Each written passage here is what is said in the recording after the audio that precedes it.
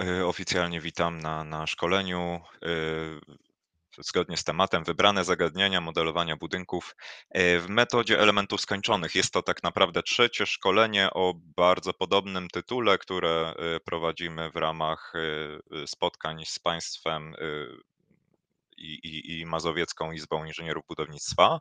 E, zachęcam również do zapoznania się z tymi wcześniejszymi e, szkoleniami. Jeżeli ktoś nie miał okazji uczestniczyć, wybrane z tych szkoleń e, znajdą Państwo na kanale YouTube Izby Mazowieckiej. Tym razem oczywiście wybraliśmy zagadnienia trochę inne. Za każdym razem staramy się poruszać, e, można powiedzieć, inny obszar, ale zawsze e, jest to blisko związane z metodą elementów skończonych. Przykłady oczywiście dzisiaj realizujemy w naszym rozwiązaniu, czyli w Gretek Advanced Design. Za chwilę trochę więcej powiem w ogóle czym to rozwiązanie jest, czym jest w ogóle firma Gretek, skąd do Państwa dzisiaj mówimy. Natomiast y, przykłady zawsze staramy się wybierać tak, żeby były możliwie najbardziej uniwersalne, żeby każdy yy, projektant, niezależnie od wybranego rozwiązania, mógł i jakieś yy, pozytywne wnioski z tego szkolenia oczywiście wyciągnąć. Przedstawię nas, ja się nazywam Kamil Dziedzis, razem ze mną jest mój kolega Mateusz Matłosz. W firmie Gretek zarówno ja, jak i Mateusz jesteśmy inżynierami wsparcia technicznego, czyli na co dzień zajmujemy się właśnie obsługą oprogramowania, jego lokalizacją, jego rozwojem, ale również takim codziennym, typowym wsparciem państwa, czyli projektantów konstrukcji, konstrukcji budowlanych. Firma Gretek Część z Państwa nas na pewno zna. E, dla niektórych z Państwa e, jesteśmy może firmą e, firmą nową, natomiast w dużym skrócie zajmujemy się przede wszystkim rozwojem oprogramowania dla branży budowlanej. Dzisiejszym tematem jest oprogramowanie związane typowo z analizą konstrukcji budowlanych, natomiast firma Gretek takich rozwiązań dostarcza wiele. No dla mnie oczywiście jak, jako inżyniera, inżyniera budownictwa jednak ten obszar, o którym dzisiaj mówimy, jest najbardziej interesujący. E, oprócz e, rozwoju własnego oprogramowania jesteśmy również partnerem innych firm, między innymi partnerem firmy Autodesk. Wcześniej w ogóle mogli nas Państwo kojarzyć i, i, i na pewno każdy projektant z, z dłuższym stażem w Polsce, firmę Robobat, bardzo dobrze, bardzo dobrze znał. Od 2015 roku Robobat Polska to właśnie członek grupy, grupy Gretek. Rozwiązanie, dosłownie w dwóch zdaniach, na którym dzisiaj opieramy to, to nasze szkolenie, czyli Gretek Advanced Design, jest to w dużym uproszczeniu, w dużym skrócie program MES do analizy konstrukcji budowlanych. Każdy z Państwa jakieś rozwiązanie zna lub y, posiada, wykorzystuje na co dzień, które bazuje na metodzie elementów skończonych. Y, nie można ukryć, że jest to obecnie taka najbardziej powszechna i popularna e, metoda, nawet w tych prostych, y, prostych projektach. E, część z Państwa na pewno jest użytkownikami e, programu. Jestem przekonany, że, że, że ci z Państwa właśnie wyniosą, wyniosą najwięcej z tego szkolenia, z, z uwagi, że będą mogli Państwo powtórzyć ewentualnie w swoich projektach to, czego dzisiaj się Państwo e, nauczą. E, natomiast dla osób, które się pierwszy raz stykają, program Advanced Design pozwala, oczywiście poza samą analizą statyczną, do czego ta metoda elementów skończonych będzie nam służyć, pozwoli również na wymiarowanie elementów konstrukcji budowlanych, żelbetowych, stalowych, drewnianych, od niedawna również murowanych fundamentów e, w oparciu o eurokody z polskimi załącznikami krajowymi. To, co tutaj widzimy, to są takie trzy wybrane projekty, realizacje naszych, e, naszych klientów, e, które ten, można powiedzieć, szeroki zakres, szeroki wachlarz materiałów przedstawiają. Są to projekty, które akurat brały udział w, w, w, tegorocznym konkursie. Zwróciłbym szczególną uwagę właśnie na, na ten projekt wieży widokowej, bo jest wyjątkowo też nietypowy z tego samego projektowego punktu widzenia. E, za niedługo, mam nadzieję, do obejrzenia na żywo e, w Beskidzie, w Beskidzie Małym. E, agenda spotkania. Na dzisiaj przewidzieliśmy dla Państwa, można powiedzieć, dwa bloki. na które będą się składały około 4 tematy, takie takie można powiedzieć mniejsze mniejsze podtematy. Yy, każdy z nich będzie trwał około 50 minut, natomiast pytania, odpowiedzi zostawimy sobie na e, koniec. Także prosiłbym oczywiście zadawanie, o zadawanie pytań yy, w trakcie, tak będzie łatwiej, tylko z jasnym odniesieniem do czego pytanie ściśle nawiązuje. Prosiłbym też w takiej kwestii organizacyjnej o zakończenie pytań znakiem zapytania, pytajnikiem. Dzięki temu będzie nam też łatwiej Y, później y, y, te pytania wyświetlić, na te pytania odpowiedzieć. Pierwszy blok poprowadzę ja. Temat może trywialny, bo będą to proste układy dachowe. Wiadomo, szkolenia online szczególnie mają to do siebie, że zawsze są realizowane na prostych przykładach, co, co wynika po prostu jakby z formy, z formy tego, tej prezentacji, z formy tego, tego szkolenia. Natomiast oczywiście da się te Y, można powiedzieć, sztuczki czy metody przenieść na, na dowolnie duży układ. E, natomiast y, będę tutaj nawiązywał do takich trywialnych, y, trywialnych zagadnień, z którymi każdy projektant się spotkał, ale z uwagi, że one też wyjątkowo do nas często trafiają, można powiedzieć, wstecznie jako pewnego rodzaju problemy techniczne, stąd taki, a nie inny wybór tej dzisiejszej tematyki. W tym pierwszym bloku właśnie pozwolę sobie na przedstawienie dwóch tematów, czyli współpraca przestrzenna więźby i konstrukcji stropu. Co to dokładnie y, przez to należałoby rozumieć? Y, wraz z rozwojem oprogramowań, wraz z jakby taką bardziej, e, bardziej upowszechnieniem metody elementów skończonych, coraz chętniej sięgamy do modeli przestrzennych, nawet w tych takich prostych układach, tych y, konstrukcji tradycyjnych, domków jednorodzinnych czy wielorodzinnych, no, w których wybór prostych schematów statycznych raczej by nam nie sprawił problemu i y, całą trudność y, takiego modelowania przestrzennego to jest czas, który byśmy musieli na to poświęcić. No ale jak się okazuje jednak, e, czasem te schematy 2D były dla nas bardziej intuicyjne niż to, co my później dostajemy z rozwiązania e, tego przestrzennego. I tutaj chciałbym zwrócić uwagę na te, można powiedzieć, pułapki e, i jak możemy to rozwiązać. Część z tych rozwiązań będzie dostępna na pewno dla każdego w każdym oprogramowaniu. Czasem może nieco więcej tej pracy manualnej użytkownik będzie musiał włożyć. Natomiast chciałbym tutaj też wykorzystać jedną z takich rzeczy, którą w ostatnim czasie udało nam się rozwinąć, czyli etapowanie.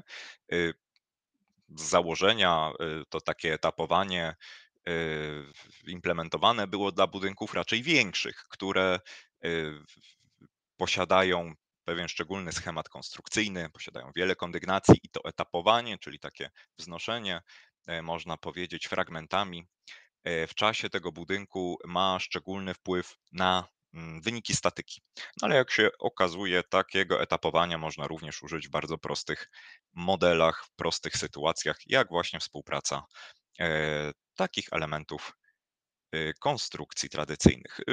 Drugi temat, który w tym bloku poruszę, modelowanie ściany kolankowej. Znowu coś bardzo trywialnego, każdy ma na to jakąś swoją metodę. E, ocenimy po prostu, jakie podejścia, e, tam gdzie by to było istotne, czyli przede wszystkim w dachach rozporowych, jakie podejścia możemy zastosować. Dosłownie dwa slajdy wprowadzenia, o czym będę mówił na samym początku, i przejdziemy właściwie do przykładu, e, przykładu bezpośrednio w interfejsie programu. Model prostej więźby, w tym wypadku akurat nierozporowej, to ma tutaj drugorzędne znaczenie, bo bardziej nas będzie interesowało, jak ta konstrukcja pracuje e, we współpracy z innymi elementami konstrukcyjnymi. To jest coś, od czego zazwyczaj zaczynamy. Mamy y, też bardzo dużo takich rozwiązań e, na polskim rynku, bardzo pomocnych. Każdy je doskonale zna do projektowania typowych y, schematów, y, ustrojów dachowych, typowych wiązarów, zakładamy zazwyczaj no, po prostu jakichś tam y, nominalnie sztywnych podporach, oczywiście odzwierciedlając możliwie naj, naj, najbardziej wiernie y, warunki podporowe. Czasem potrzebujemy już tej takiej analizy przestrzennej, y, uciekamy nawet do tych programów przestrzennych, do tych programów opartych o metodę elementów skończonych, kończymy czasem z modelem więźby.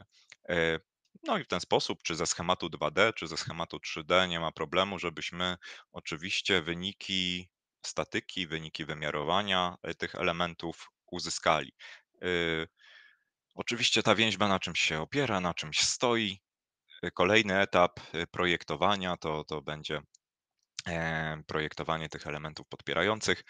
Stąd często wracamy z reakcjami, różnego rodzaju reakcjami z z więźby, z innych elementów, czyli rozkładamy to na te schematy proste, obciążamy tym oczywiście, e, da dalszą y, dalszą, podkonstrukcję. Ma to swoje plusy, minusy ma chyba takie podstawowe, czyli wszelkiego rodzaju zmiany, które by w projekcie zaszły, to wymagają od nas znowu przejścia tego procesu, e, od modyfikacji, jednej części, analizy, y, przeniesienia odpowiednich danych, w tym wypadku, e, wartości reakcji, no i troszkę nam to zakłamuje mimo wszystko, mm schemat statyczny, bo co innego my zakładamy na tym pierwszym etapie, co innego w rzeczywistości jest się w stanie zrealizować, gdzie tą pewną podatność elementów podpierających, e, podpierających jesteśmy w stanie uwzględnić. E, wtedy co robimy? Wtedy często, no już y, wprowadzamy elementy, y, czy czy model pełny, model, y, przestrzenny takiej konstrukcji. Z tym by nie było może dużego problemu, e, ale w którymś momencie się orientujemy, że wyniki, które uzyskaliśmy ze schematu, y, 2D, czy nawet ze schematu przestrzennego, ale samej więźby, y, znacznie odbiegają czy różnią się od wyników, które uzyskaliśmy z takiego przestrzennego, e, modelu. No to wynika po prostu z tej pracy, można powiedzieć, i wciągnięcia do współpracy wszystkich elementów konstrukcyjnych. To jest je jedna kwestia. Druga wynika typowo z podatności, e, pewnych, e, podpór. E, przejdźmy w tym momencie do, do modeli. Ja tutaj mam kilka modeli, także będziemy dużo skakać. Mam nadzieję, że to nie będzie duży problem. Zaczynam od tego, co na samym początku pokazałem, czyli taki prosty schemat więźby dachowej, w układzie kleszczowym. Tutaj wszystko na na, y, podporach, y, przegubowych, sztywnych, tak, czyli nieprzesuwnych, e, chociaż często właśnie w tych dachach nierozporowych, staramy się szukać tej tej tej możliwości właśnie, właśnie przesuwu, co też byłoby, no, pewnym uproszczeniem, gdybyśmy założyli, którąś z tych podpór jako jako pełni w pełni przesuwną. Gdzieś ta podpora w postaci ściany kolankowej, ona jakąś sztywność przecież będzie miała i tutaj właśnie będzie jednym jedną z zalet, modelowanie jednak pełnego układu. Tylko właśnie wtedy pojawią nam się te pułapki. Ja przeliczę ten model, który w tym momencie, widzimy, czyli pozwolę sobie wykonać jego obliczenia MES. To jest bardzo prosty model. Tutaj właściwie mamy tylko ciężar własny, wykończenie, czyli obciążenia stałe. Tutaj nie analizuję kompletnie, y, obciążeń klimatycznych, nie będziemy tutaj nic wymiarować. Tutaj bardziej chodzi o sam rozkład sił, czyli o kształt wykresu. Niekoniecznie interesują nas e, niekoniecznie interesują nas wartości. No w tym momencie taka więźba, e, taka więźba, którą widzimy, ja może jeszcze tylko zaprezentuję ją w formie odkształconej, będzie to może bardziej obrazodajne. Taka więźba, no zgodnie z tym zadanym schematem jakoś oczywiście jest w stanie, y, zapracować. I tutaj raczej większych wątpliwości nie będziemy, y, mieć. Ona oczywiście jest już takim pewnym, mm, można powiedzieć, krokiem naprzód względem schematu 2D, bo gdybyśmy to analizowali jednak jako taki schemat płaski, czyli wybralibyśmy jeden z wiązarów, założylibyśmy jako płatę pewnie też podparcie nominalne, mur łata, podparcie nominalne, a tutaj jednak widzimy, że wybrane krokwie, y, różnie się zachowują, różnie pracują, co wynika już z tej podatności płatwi. E, więc to jest też, y, ten ta taka przewaga pewnego rodzaju. E, no i oczywiście to będzie rzutowało na wartości momentów, na wartości reakcji podporowych, e, czy, y, w samych mur łatach, czy na tych słupkach, które tą płatę podpierają. No i to jest taki, można powiedzieć, e, takie rozwiązanie typowe. Tutaj żadnych wątpliwości oczywiście nie mamy. E, to by nam posłużyło na pewno w bardzo łatwy sposób do odczytu takich reakcji podporowych, żeby je, e, w jakiś sposób do modelu, reszty podkonstrukcji oczywiście, przenieść. No tutaj takim podstawowym już widać, myślę, może nie nie nie, nie byłoby to intuicyjne, gdybyśmy mieli, y, w widoku całą konstrukcję, że no z uwagi, że jest to ustrój symetryczny względem osi kalenicy, no to te wartości reakcji też dostajemy oczywiście symetryczne. E, jeżeli widzielibyśmy teraz resztę konstrukcji, ja ją pozwolę sobie zaprezentować bardzo szybko, tak, to byśmy się zaczęli zastanawiać, czy faktycznie tak w rzeczywistości może być. Czy y, któraś, można powiedzieć, y, część tej e, konstrukcji stropu nie jest bardziej podatna, nie jest bardziej sztywna, co by wynikało po prostu z już bezpośrednio z podparcia, e, z podparcia płyty czy podparcia tej ściany kolankowej. E, dlatego to było to, co mówiłem, że to rozbicie na schematy 2D pewnie jest y, dobrym uproszczeniem, ale w jakiejś szerszej perspektywie wprowadza nam e, pewien taki margines błędu, który e, popełniamy. Pytanie, czy w stronę bezpieczną, czy w stronę niebezpieczną. Gdybym teraz zaczął analizować taką konstrukcję, która jest dokładnie pełną kopią, jeżeli chodzi o konstrukcję więźby, ale ta więźba no teraz już w tym momencie stoi nie na podporach, a stoi na reszcie takiego budynku. Ja ten model również pozwolę przeliczyć sobie. E, zawiera dokładnie te same obciążenia, czyli ciężar własny i wykończenia. Tak. No i ten model również w jakiś sposób się rzecz jasna zachowuje. Jakbyśmy zaczęli porównywać wyniki, to może częściowo są podobne, może częściowo są e, inne, ale e, to, co tutaj będzie dla nas takim dobrym punktem odniesienia, to myślę reakcje podporowe. No tutaj mieliśmy oczywiście jakiś wynik uzyskany w jakiejś tam postaci y, reakcji, czyli to była nasza siła, po prostu w takim słupku. Więc gdybym teraz w tym momencie dla takich słupków zaczął analizować reakcje podporowe, czyli wyświetlę po prostu siły Fx. Y, obejrzyjmy może w tej samej kombinacji obciążeń, w której zaprezentowałem te reakcje tutaj, y, czyli ciężar własny, wykończenie. Y, no to widzimy, że wartości się różnią. Ktoś powie, że to nie jest może jakaś duża różnica, no bo tam było 40, tu jest 30, jest ten pewien margines błędu, co wynika pewnie z podatności. Ale tu dość istotnie y, trzeba by zwrócić uwagę, w których konkretnie słupkach mamy największą różnicę. Bo zobaczmy w tym momencie sytuację tego, tej maksymalnej reakcji. Czyli tutaj mamy te 30, no tutaj to było te 39. Natomiast gdybyśmy obejrzeli jakiś dowolny słupek obok, tutaj reakcja była 30, natomiast teraz mamy reakcję na poziomie 11 czy 12 kilo E, newtonów. No tu już różnica wydaje się e, duża. E, z czego to wynika?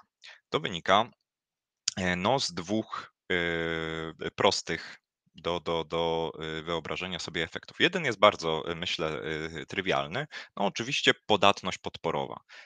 Tutaj mieliśmy podporę w pełni sztywną, tak, czyli ten słupek deformację, jaką był w stanie osiągnąć, wynikała tylko i wyłącznie z jego sztywności, ale to, co, co y, dzieje się z konstrukcją poniżej, nas nie interesuje. No tutaj sytuacja jest taka, że jednak ten słupek, który znajduje się, może tak, żeby to było dobrze widać, pozwolę sobie zaprezentować to w takiej lekkiej przeźroczystości. Ten słupek, który znajduje się tutaj, no on jest blisko jednak sztywnej podpory. Y, jakaś ta pewna taka podatność przemysłowa tej płyty będzie, jednak jest blisko sztywnej podpory, więc on z większą sztywnością oczywiście będzie chciał zapracować. Czyli to jest bliższe na pewno takiej nieskończenie sztywnej e, podpory.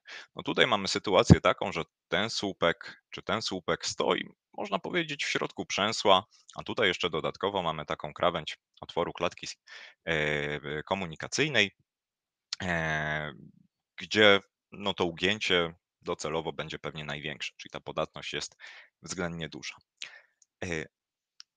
Czyli to byśmy mogli sobie jakoś wyjaśnić jakąś tą, tą, tą pewną różnicę. Natomiast tutaj takim podstawowym problemem, gdybyśmy zaczęli analizować tak naprawdę, co się w tej konstrukcji dzieje e, i obejrzelibyś, obejrzelibyśmy sobie każdą, każdy z tych przypadków osobno, proszę zobaczyć, że w przypadku ciężaru własnego, ja może zaprezentuję to dla samych słupków, w przypadku ciężaru własnego konstrukcji e, mamy sytuację taką, że w słupkach więźby e, drewnianej właściwie z wartości, które spodziewaliśmy się, że będą reakcjami y, ujemnymi co, co, co do znaku wartości, czyli będzie to w przeważającej mierze ściskanie, tak, to dostajemy jednak e, po całej wysokości, nawet w tym e, w zmieczowanym trójkącie, w którym tutaj powinniśmy się naprzemiennego raczej znaku spodziewać,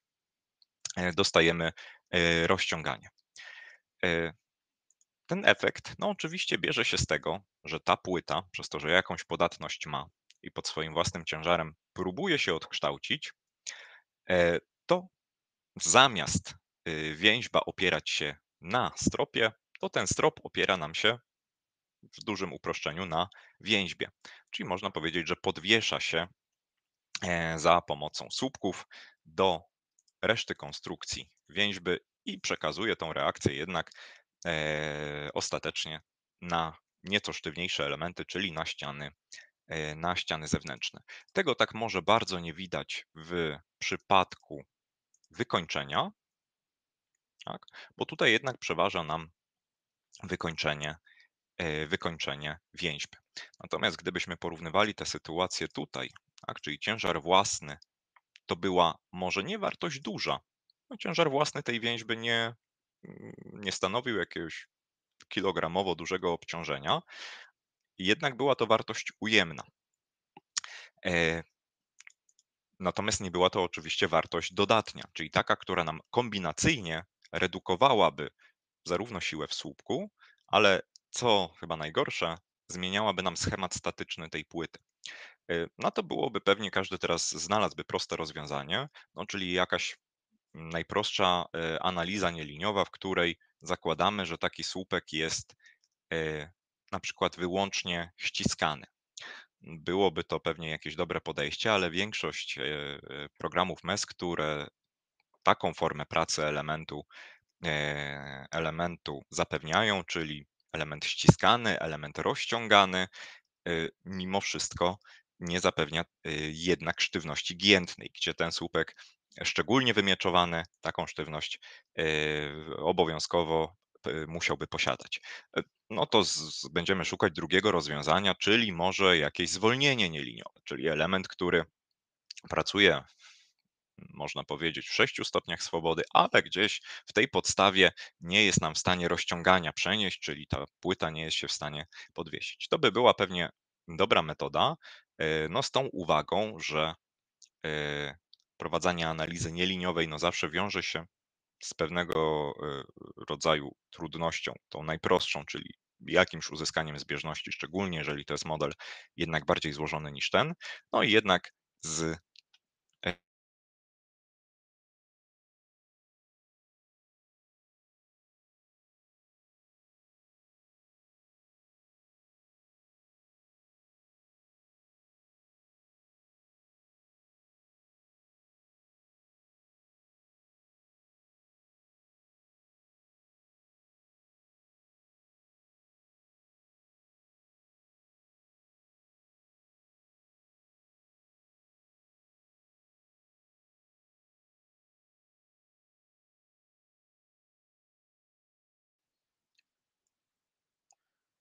Mamy tutaj jakiś problem techniczny. Nie wiem, czy to połączenie internetowe u, u Kamila.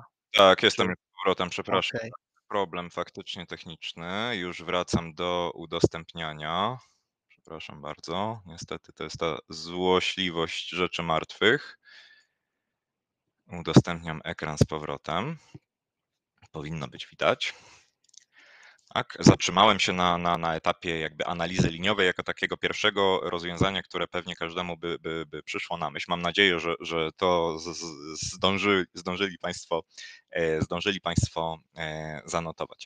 Natomiast co, co by było może takim rozwiązaniem, które chętnie wybieramy pierwotnie, bo w ogóle tak e, z mojego doświadczenia, podejrzewam, że z Państwa również, często my zaczynamy jednak tą analizę dachu właśnie od modeli takich jak ten, który widzimy teraz, czy nawet prostszych, z, z różnego rodzaju kalkulatorów, gdzie, e, gdzie e, reakcje przenosimy do e, modelu konstrukcji stropu. I ten model stropu nam właśnie posłuży jako odniesienie, bo jego potraktujemy jako taki bliski, bliski prawdy, bo y, jako rozwiązanie pozwolę sobie zaproponować jeszcze jedną, e, jedną metodę. E, też bym chciał zwrócić uwagę na taką może pewną dość ciekawą y, opcję programu. Y, może to odbiega troszkę od typowo takiej tematyki projektowej, ale zakładam, że użytkowników y, programu tutaj paru znajdziemy, bo mimo wszystko ta metoda, mimo że pracochłonna, bo gdybyśmy mieli przenosić te reakcje ręcznie, rzecz jasna, z jakiegoś innego programu, to by było może faktycznie mm, skomplikowane o tyle, że każda zmiana Y, że każda zmiana y, rodziłaby konieczność no, te, przeprowadzenia tego procesu od nowa. Y, dla użytkowników proszę pamiętać o takiej dość ciekawej, ciekawej możliwości, jak eksport reakcji podporowych danego modelu. Nie? Czyli reakcje podporowe właściwie eksportowane są do prostego pliku tekstowego. Ja teraz tego nie będę robił, bo już taką tak, taki plik wyeksportowałem i do dowolnego modelu takie reakcje też jesteśmy w stanie zaimportować, tylko można powiedzieć, że w tym momencie będą to po prostu obciążenia zewnętrzne. Także taka wymiana danych będzie też względnie prosta, nawet przy zmianach. Oczywiście zmiany wprowadzimy na modelu więźby, y, zaimportujemy takie reakcje do, y, do E, modelu kolejnego. Ja ten model z reakcjami w tym momencie pozwolę sobie przeliczyć i tak jak powiedziałem, e, potraktujemy go jako ten punkt odniesienia dla wyników y, stropu. O teraz tak. E, proszę tutaj nie zwracać uwagi na siatkę, ona ma drugorzędne znaczenie. We wszystkich modelach ta siatka jest na tym samym poziomie, czyli od 0,5 do 0,7 metra. Dlatego nas interesują nie wartości, co przebieg, przebieg y, map y, czy deformacji. Y, no jakie wyniki moglibyśmy tutaj ocenić? No pewnie najprościej byłoby nam ocenić przemieszczenia czy momenty zginające, no bo to będzie tak podstawa projektowania, e, projektowania później może zmienimy sobie tylko tryb na izomapy. To będzie podstawa później projektowania płyty tego strupu. E, no tutaj, dzięki temu, że my wprowadzaliśmy te obciążenia jako reakcję z modelu o podporach niepodatnych, e, no to tutaj właściwie nie ma takiej możliwości, żeby coś nam się podwiesiło. No, reakcje mamy skierowane pionowo w dół, ten strop nam się nie jest w stanie, rzecz jasna, podwiesić. Czyli reakcje, które w tym momencie, znaczy momenty, które w tym momencie oglądamy, no są bliskie prawdy można powiedzieć, takiego niepodwieszającego się stropu do, e, do e, konstrukcji dachu. Czy potraktujmy w tym momencie to rozwiązanie jako, e, jako odniesienie i wróćmy z powrotem do modelu całej konstrukcji, która była tutaj. Tak? No tutaj przez to właśnie, że oglądaliśmy tą reakcję, czy tą siłę w słupku jako jednak znaczną przy y, podwieszaniu tego stropu. Tak? Oczywiście to jest też szczególny przypadek. Proszę mieć na uwadze to, że gdybym te słupki lokalizował w punktach podporowych konstrukcji stropu, czyli na ścianach, może na belkach, chociaż to też by było wtedy istotne, jaka duża podatność tej belki jest, to ten efekt byłby marginalny. Nie? Y, tego nie widzimy aż tak drastycznie w tym słupku, chociaż też, tak? Prawie pewnie w ogóle nie widzimy w tych słupkach skrajnych, bo one właściwie stoją na podporze, tak? ale widzimy bardzo duży efekt y, w tym słupku, który stoi właściwie w środku przęsła, no, czyli w miejscu najbardziej podatnym tego stropu. No i to jest, można powiedzieć, takie klasyczne nawiązanie do y, stropów transferowych. My to znamy z konstrukcji żelbetowych, często ta płyta garażu y, z uwagi na ten układ podpór w, w, w kondygnacji podziemnej różni się od, od kondygnacji wyższych, więc ta płyta działa faktycznie jak transfer, tylko tam mamy tą większą swobodę, większy zakres możliwości faktycznie przenoszenia takiego rozciągania e, czy, czy, czy pracy takiej transferowej. E, I co właśnie w układach transferowych my często wykorzystujemy? Etapowanie. Tak? To jest jeden z takich typowych y, można powiedzieć, obszarów, w których etapowanie konstrukcji się wykorzystuje, czyli budyn budynki wysokościowe, gdzie chcemy uwzględnić efekt nieściśliwości słupów, e, szczególnie w tych układach, y, trzonowo-słupowych i efekt, yy, efekt, transferu, tak? Żeby fragment konstrukcji zapracował nie jako, można powiedzieć, przestrzenna kratownica, że strop, który jest jeszcze piętro wyżej, stanowi na przykład pas górny, a te słupy, te belki, które mamy gdzieś pomiędzy, stanowią pewnego rodzaju takie myślowe wykratowanie. E, w tym momencie, gdybyśmy oglądali oczywiście wyniki w tym stropie, to może to nie jest do zauważenia na pierwszy rzut oka. Tak, znowu zaprezentujmy może wartości w postaci izomap. Ale jednak tutaj, gdzie spodziewaliśmy się największej reakcji, tak, czyli to było 20 kN, no to tutaj mamy w tym wypadku około 9 do 10. E, bo oprócz tego, że mamy za małą reakcję, no to jeszcze strop zamiast być dociążany, to się po prostu fizycznie e, podwiesza. Ten efekt będziemy widzieć najsilniej w tym przęśle, tak, czyli momenty, gdzie e, momenty tego przęsła były największe, bo tutaj opieramy jednak słupek w środku, tutaj dostajemy momenty praktycznie najmniejsze, bo słup zamiast obciążać nam taki strop, to ten strop po prostu podwiesza. Za pomocą tych płatwi przekazuje nam e, i krokwi przekazuje nam reakcję, e, e, swój ciężar własny na ściany zewnętrzne i na te słupki, tak, które mamy tutaj, no bo jednak one faktycznie są sztywno, sztywno podparte. Czyli jedną z takich najprostszych metod na takie proste podsumowanie w, na, na tym etapie to jest właśnie to, czyli zamiana na takiej więźby, czy rozbicie układu na układy prostsze, y, które pracują z pewnym założeniem naszym. Y, jest to o tyle uproszczenie, no, że tej podatności podporowej my wtedy nie uwzględniamy, chyba że umiemy ją w jakiś sposób wyznaczyć, umiemy ją w jakiś sposób wyliczyć i różnicować, y, ale jest to dość dobre uproszczenie, bo do czegoś takiego byliśmy przyzwyczajeni. Teraz chciałbym pokazać taki dość ciekawy aspekt pracy z wykorzystaniem właśnie mechanizmu etapów konstrukcyjnych. Co to są etapy konstrukcyjne? One z założenia nie są rodzajem analizy nieliniowej. Oczywiście mogłyby pewnie y, wykorzystywać też jakieś efekty nieliniowe, ale z założenia nie jest to efekt pracy nieliniowej, ale jest pewnego rodzaju obliczeniem iteracyjnym.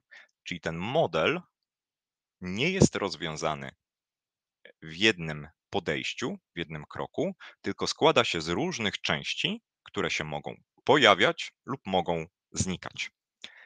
Y, czyli analizujemy to, że na różnym, można powiedzieć, etapie budowy budynku schemat statyczny się zmienia. Tak? I już sobie powiedzieliśmy, że taki najprostszy przykład to jest budynek wysokościowy gdzie on nie jest obciążony naraz ciężarem własnym w momencie jego wybudowania, tylko ten ciężar własny jest realizowany już w etapie rozszalowania konstrukcji. Tak, czyli już mam dwie kondygnacje czy jedną kondygnację, obciążam kolejnymi, wprowadzam jakieś obciążenia montażowe, ale ten fragment konstrukcji który właśnie jako pierwszy został rozszalowany, najniższa kondygnacja, on już w tym momencie zaczyna pracować w schemacie statycznym, który nie uwzględnia tego, że budynek ma 10, 12 czy 20 kondygnacji, tylko on na tym etapie ma kondygnację jedną, może ma kondygnację dwie, tak? Czyli ten schemat będzie inny. Ktoś powie, no przecież to pracuje dalej w takim samym schemacie, no bo ja bym rozbił na schematy proste, każda kondygnacja osobno, tak bym sobie policzył, sumowałbym wyniki reakcji i to jest moja siła w słupie najniższej kondygnacji. Y, I tak i nie, bo mimo wszystko, wciągając do współpracy poszczególne stropy, trzon komunikacyjny i słupy, które właśnie w modelu przestrzennym obciążone naraz yy, mają ten efekt ściśliwości, yy, którego nie zaobserwujemy, analizując tą konstrukcję etapami, rozkład sił zmienia się w dość znacznie, tak? czyli powyżej, tak do czwartej kondygnacji mniej więcej tego efektu nie widzimy, ale przy tych kondygnacjach piątej i wyższej ten efekt jest już zauważalny. E, I tutaj, mimo że to jest taki prosty budynek, to ten mechanizm został wykorzystany. W jaki sposób? Etap pierwszy to jest konstrukcja parteru. Ja oczywiście mógłbym zrobić z tego etapów więcej, że mam konstrukcję fundamentu, on ma tylko ciężar własny, pod niczym nie pracuje. Z punktu widzenia projektowego sytuacja dla mnie kompletnie nieistotna. Mógłbym powiedzieć, że są same ściany, jakiś, y, jakaś sytuacja montażowa. Może chciałbym uwzględnić, że, że te ściany nie są stężone stropem, oddziałuje już na nie wiatr. Też dobry, może yy, dobry przypadek. Ale ja tutaj podzieliłem tą konstrukcję na dwa etapy. E, etap, w którym mamy konstrukcję mm, całą parteru i etap drugi, w którym pojawia się więźba dachowa. Co tutaj będzie takiego istotnego? Dlaczego to byłoby dobre rozwiązanie? Bo w tym momencie wszystko to, co wprowadzone jest w tym etapie, realizuje już swoje obciążenia. Czyli na przykład ciężar własny, obciążenie wykończeniem, obciążenie montażowe. A w takim prostym modelu to bym pewnie jeszcze powiedział i obciążenie może użytkowe, te, które już będą końcowe, można powiedzieć, przyłożone w etapie całej, y, całego obiektu. Tak. Czyli etap pierwszy nie uwzględni, że w ogóle elementy takie jak konstrukcja dachu istnieją. Czyli do schematu statycznego pracy samego stropu nie będą uwzględnione. Etap drugi nie uwzględnia ciężaru elementów i obciążeń, które już zostały zrealizowane. Czyli obciążenia występują tylko jeden raz. Elementy mogą w etapach znikać, pojawiać się, ale obciążenia pojawiają się oczywiście tylko raz. Dlatego po wprowadzeniu więźby, więźba będzie posiadała wyłącznie ciężar własny, może będzie jakieś wykończenie tej więźby, jakieś obciążenia na tym dachu i tylko one będą pracowały w schemacie statycznym całego budynku. Dlatego wszystko, co nam trafi na yy, z więźby poniżej, tak, to będzie wyłącznie reakcja z dachu. One będą się różniły od sztywnego podparcia, bo jednak jest to schemat statyczny, w którym podpory są podatne. Tak, bo jednak ten strop będzie podatny, ale ten strop nie podwiesi się do yy, konstrukcji więźby, bo po co? I żeby to lepiej zrozumieć, to model ten, czyli nasza płyta obciążona reakcjami, tym się różni od tego modelu z etapami, że tu analizujemy od góry do dołu, a tam analizujemy od dołu do góry.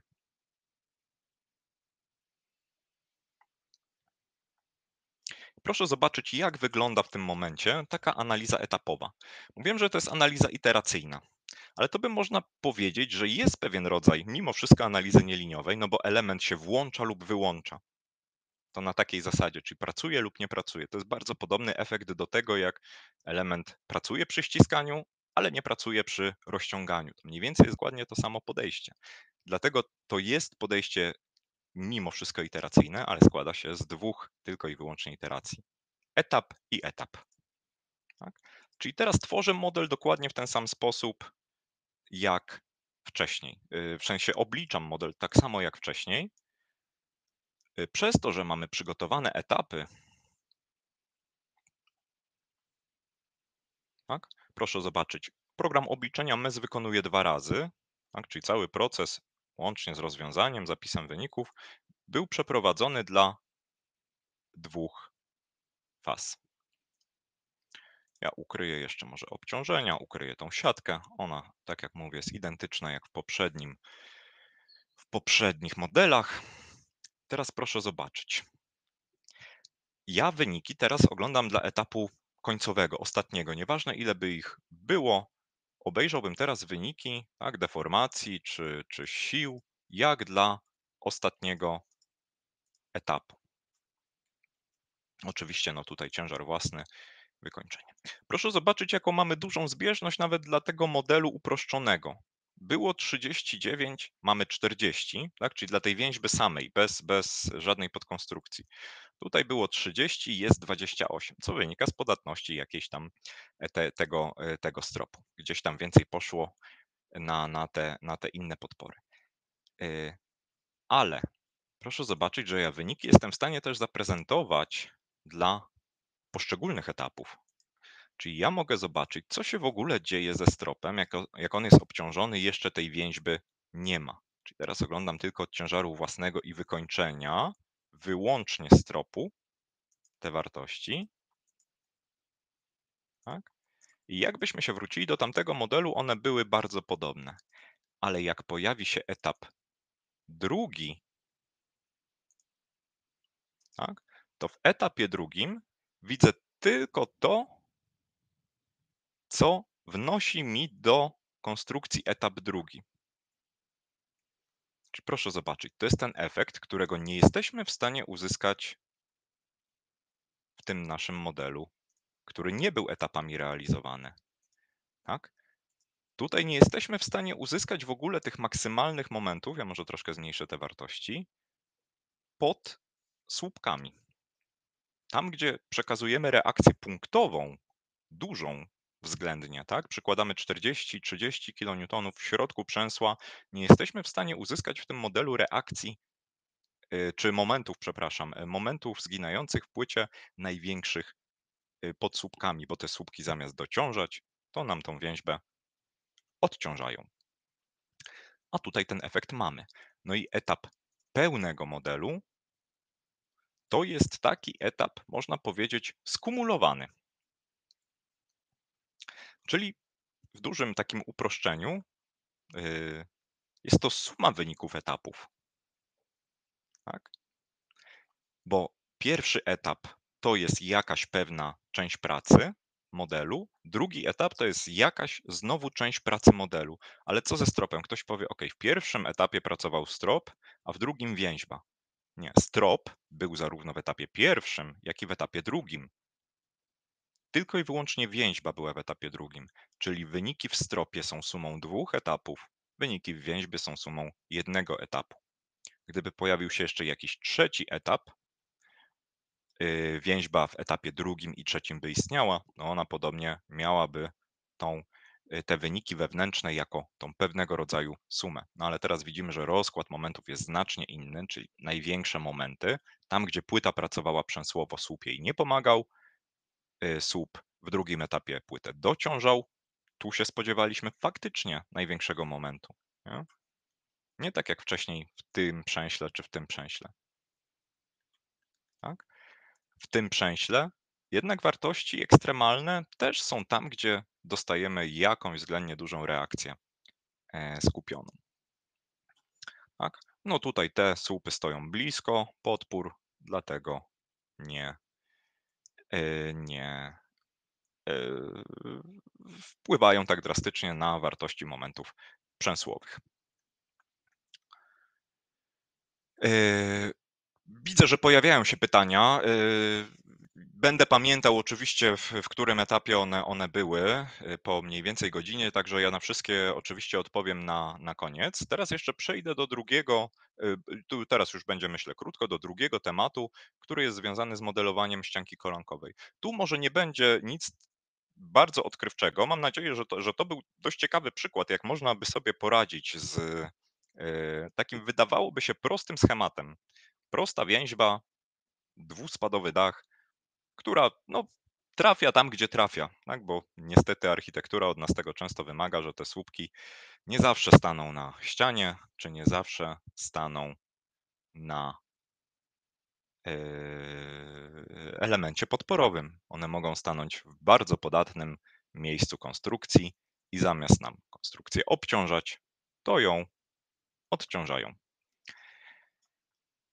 I tego nie widać na pierwszy rzut oka. Tak? Bez jakiejś takiej dogłębnej analizy, czyli rozbicia tego na dwa modele, ja dostanę przecież wyniki jakieś w stropie i błędnie na nie wymiaruję i dostanę jakieś wyniki w więźbie i też na nie błędnie wymiaruję.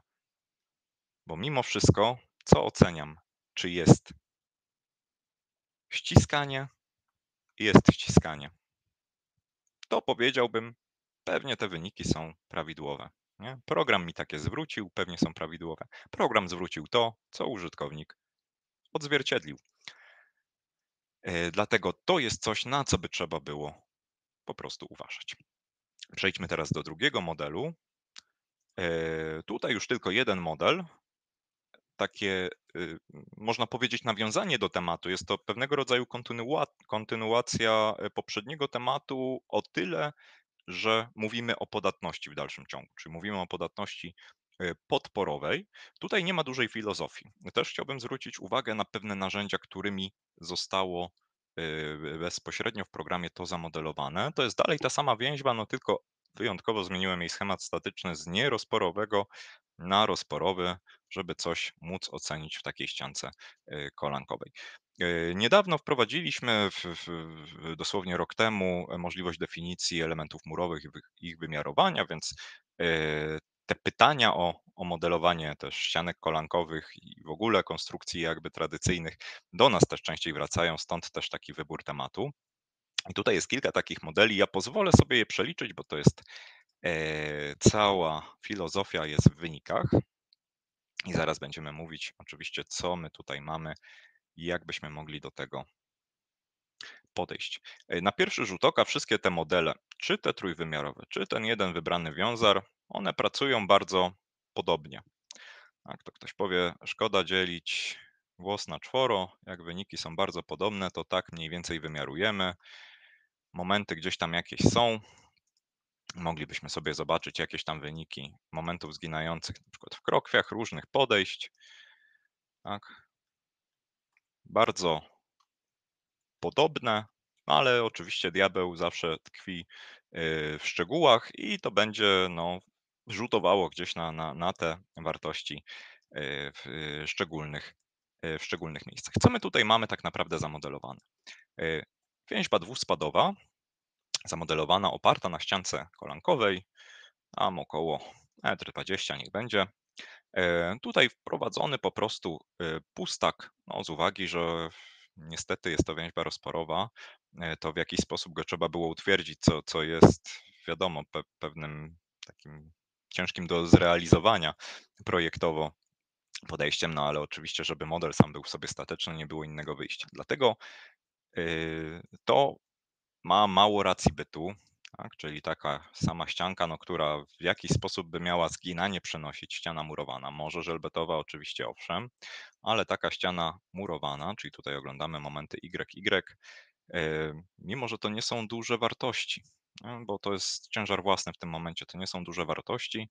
E, przy jakimś obciążeniu już śniegiem, wykończeniem, te wartości wiadomo będą znaczne. Taka ściana nie byłaby w stanie takiego zginania Y, przenieść.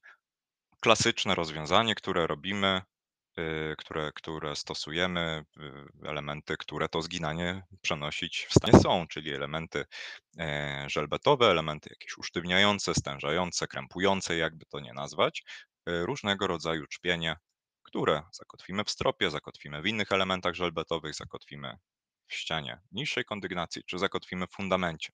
To już jest kwestia jakby konstrukcyjna, którą w tym momencie pomijam, one są po prostu utwierdzone w swojej podstawie. E, jako uproszczenie my często przyjmujemy po prostu taki schemat, że jest jakiś wieniec y, oparty na ścianie kolankowej, y, składającej się tylko z trzpieni. Dlaczego? No bo zakładamy, że ta ściana, no przecież ona tyle pracuje co nic, e, bo tutaj najistotniejszy ten charakter pracy to mają właśnie zapewnić te trzpienia. E, model czegoś takiego no też nam zaczyna burzyć pracę układu o tyle, że no ten wieniec też ma przecież teraz jakąś podatność. To jest ta dokładnie ta sama sytuacja, co w przypadku naszego stropu. Więc znów reakcje, które będą przekazywane z więźby na elementy podpierające będą inne. No i znów pojawia się to pytanie, czy nam się wieniec w którymś momencie nie zacznie podwieszać zamiast przejmować obciążenie. To będzie wszystko oczywiście wynikało ze schematu statycznego dachu. No i to już tutaj dobrze widać, że na przykład taka krokiew, która jest tutaj, tak, będzie miała inną wartość momentu niż taka krokiew, która jest tutaj. Może tego aż tak dobrze nie widać przy samym ciężarze własnym, tak, ale będzie to dobrze widać może na przemieszczeniach. Będzie to dobrze widać na przemieszczeniach. E, no dlaczego? No dlatego, że w tym momencie, rzecz jasna, ten wieniec wraz ze swoją podatnością jakąś deformację ma. No on oczywiście tutaj yy, reakcją poziomą jest też rozpychany, jak to w więźbie rozporowej, więc jest to deformacja częściowo pozioma, częściowo, e, częściowo e, pionowa. E, co możemy wtedy zrobić? No możemy powiedzieć, OK, uwzględniam jednak również tą moją ścianę. No pytanie, jak to połączyć z czpieniami? Programy MES mają w większości Mm, tą taką szczególną możliwość, że pozwalają elementy prętowe na powłokowe nakładać. To każdy oczywiście zna. Najprostszy przykład strop, w który wprowadzamy belki. Więc tutaj takiej filozofii dłużej by nie było, że my możemy też w ściany wprowadzić y, czpienie. No, Advanced Design ma jeszcze to do siebie ciekawego, że możemy wprowadzać element powłokowy w powłokowy i prętowy w prętowy, co też ma dość takie fajne zastosowanie na przykład przy wzmocnieniach konstrukcji, no ale dzisiaj mamy tą sytuację typową. Element prętowy w element e, powłokowy. No co tutaj zaczyna się robić problemem? No że teraz ta ściana y, proporcjonalnie do swojej sztywności, no ona tej sztywności dłużej nie ma, ale zaczyna być również zginana. Czyli to jest połączenie teraz, można powiedzieć, pracy tej wcześniejszej, którą mieliśmy tutaj, gdzie ściana była zginana, tak, z sytuacją, gdzie pracowały nam same czpienie, to teraz mamy coś pomiędzy. No te czpienie oczywiście są sztywniejsze, więc to nie leci nam tak w całości. Ten wieniec głównie jest zginany między czpieniami, ale wiadomo, że i część zginania przejmuje ściana e, kolankowa. Tak? Tutaj możemy to rozwiązać na kilka sposobów. Ja prezentuję oczywiście ten najprostszy. A najprostszy to jest zwykłe zwolnienie przegubowe takiej, takiej ściany. Natomiast moglibyśmy tutaj szukać wiele różnych innych metod, czyli zwolnień translacyjnych. E, bo nam zależy, żeby ten wieniec oparł się przede wszystkim w kierunku pionowym. Tak? Bo wtedy, e, wtedy taka więźba oprze się na nie tylko wieńcu, ale również na ścianie, czyli wieniec przekaże bezpośrednio reakcję na ścianę. Jeżeli znowuż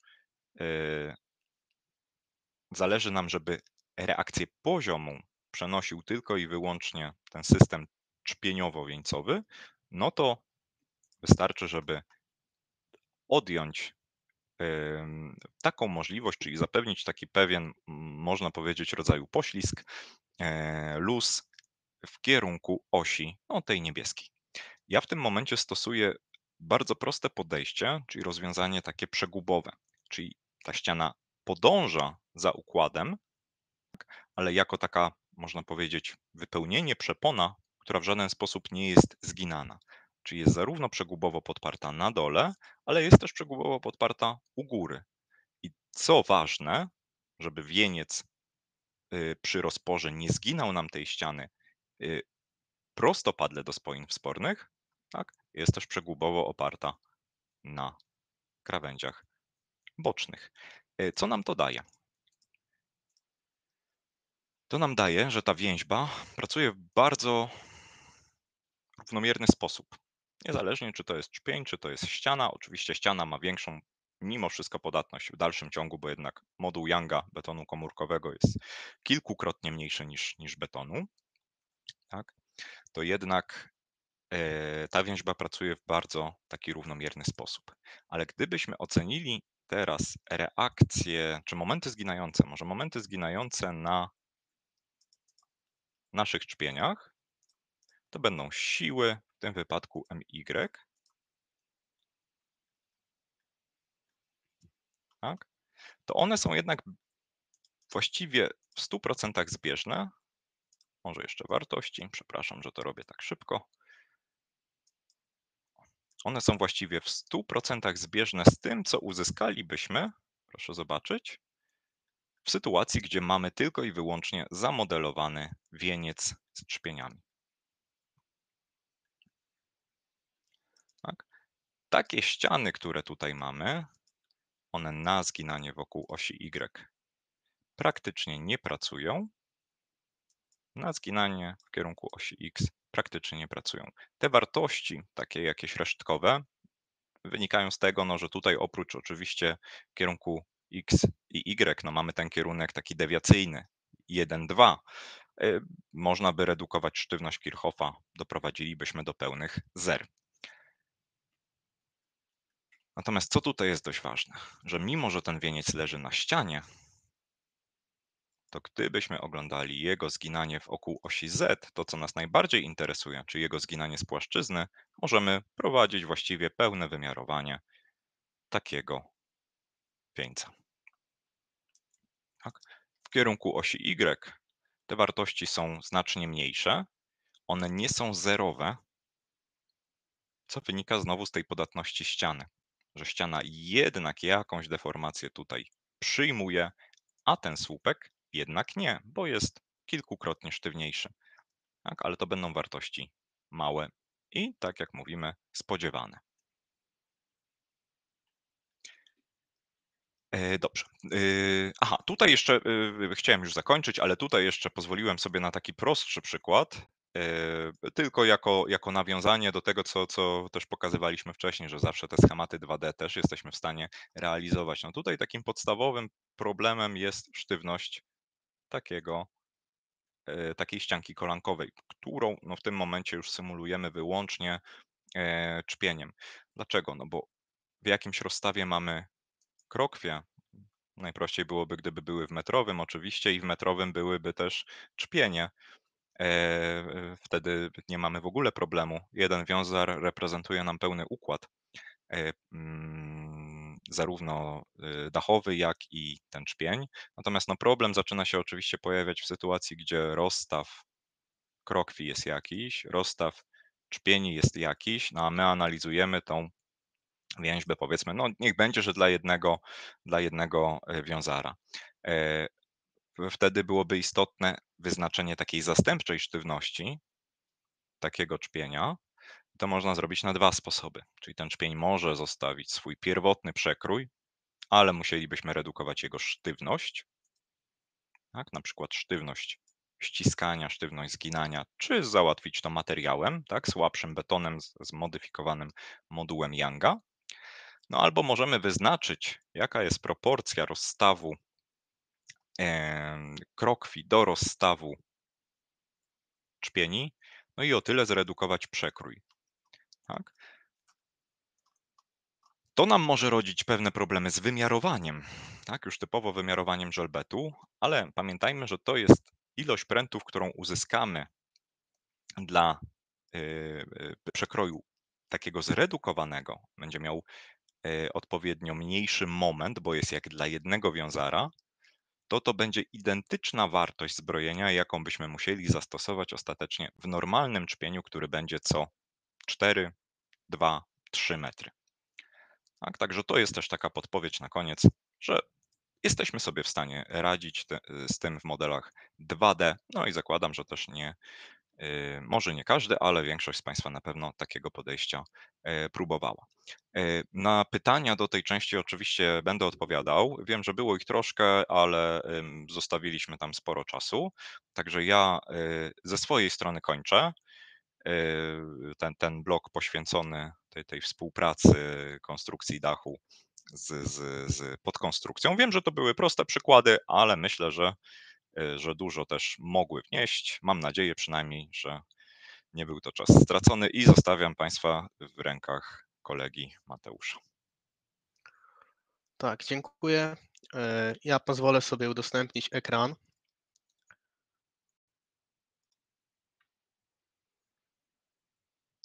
OK, ekran powinien być teraz e, widoczny. W bloku drugim e, zajmiemy się dwoma głównymi aspektami. Pierwszym z nich będzie wpływ offsetów na statykę układu prętowego. Wielu inżynierów bardzo chętnie korzysta z e, offsetów, a nie ma jakby takiego pojęcia, w jaki sposób one wpływają na układ e, e, na, na nasz układ, tak? E, Że zmienia się tak naprawdę układ statyczny, są inne siły dodatkowe, no i trzeba mieć o tym świadomość, takie offsety wykorzystując.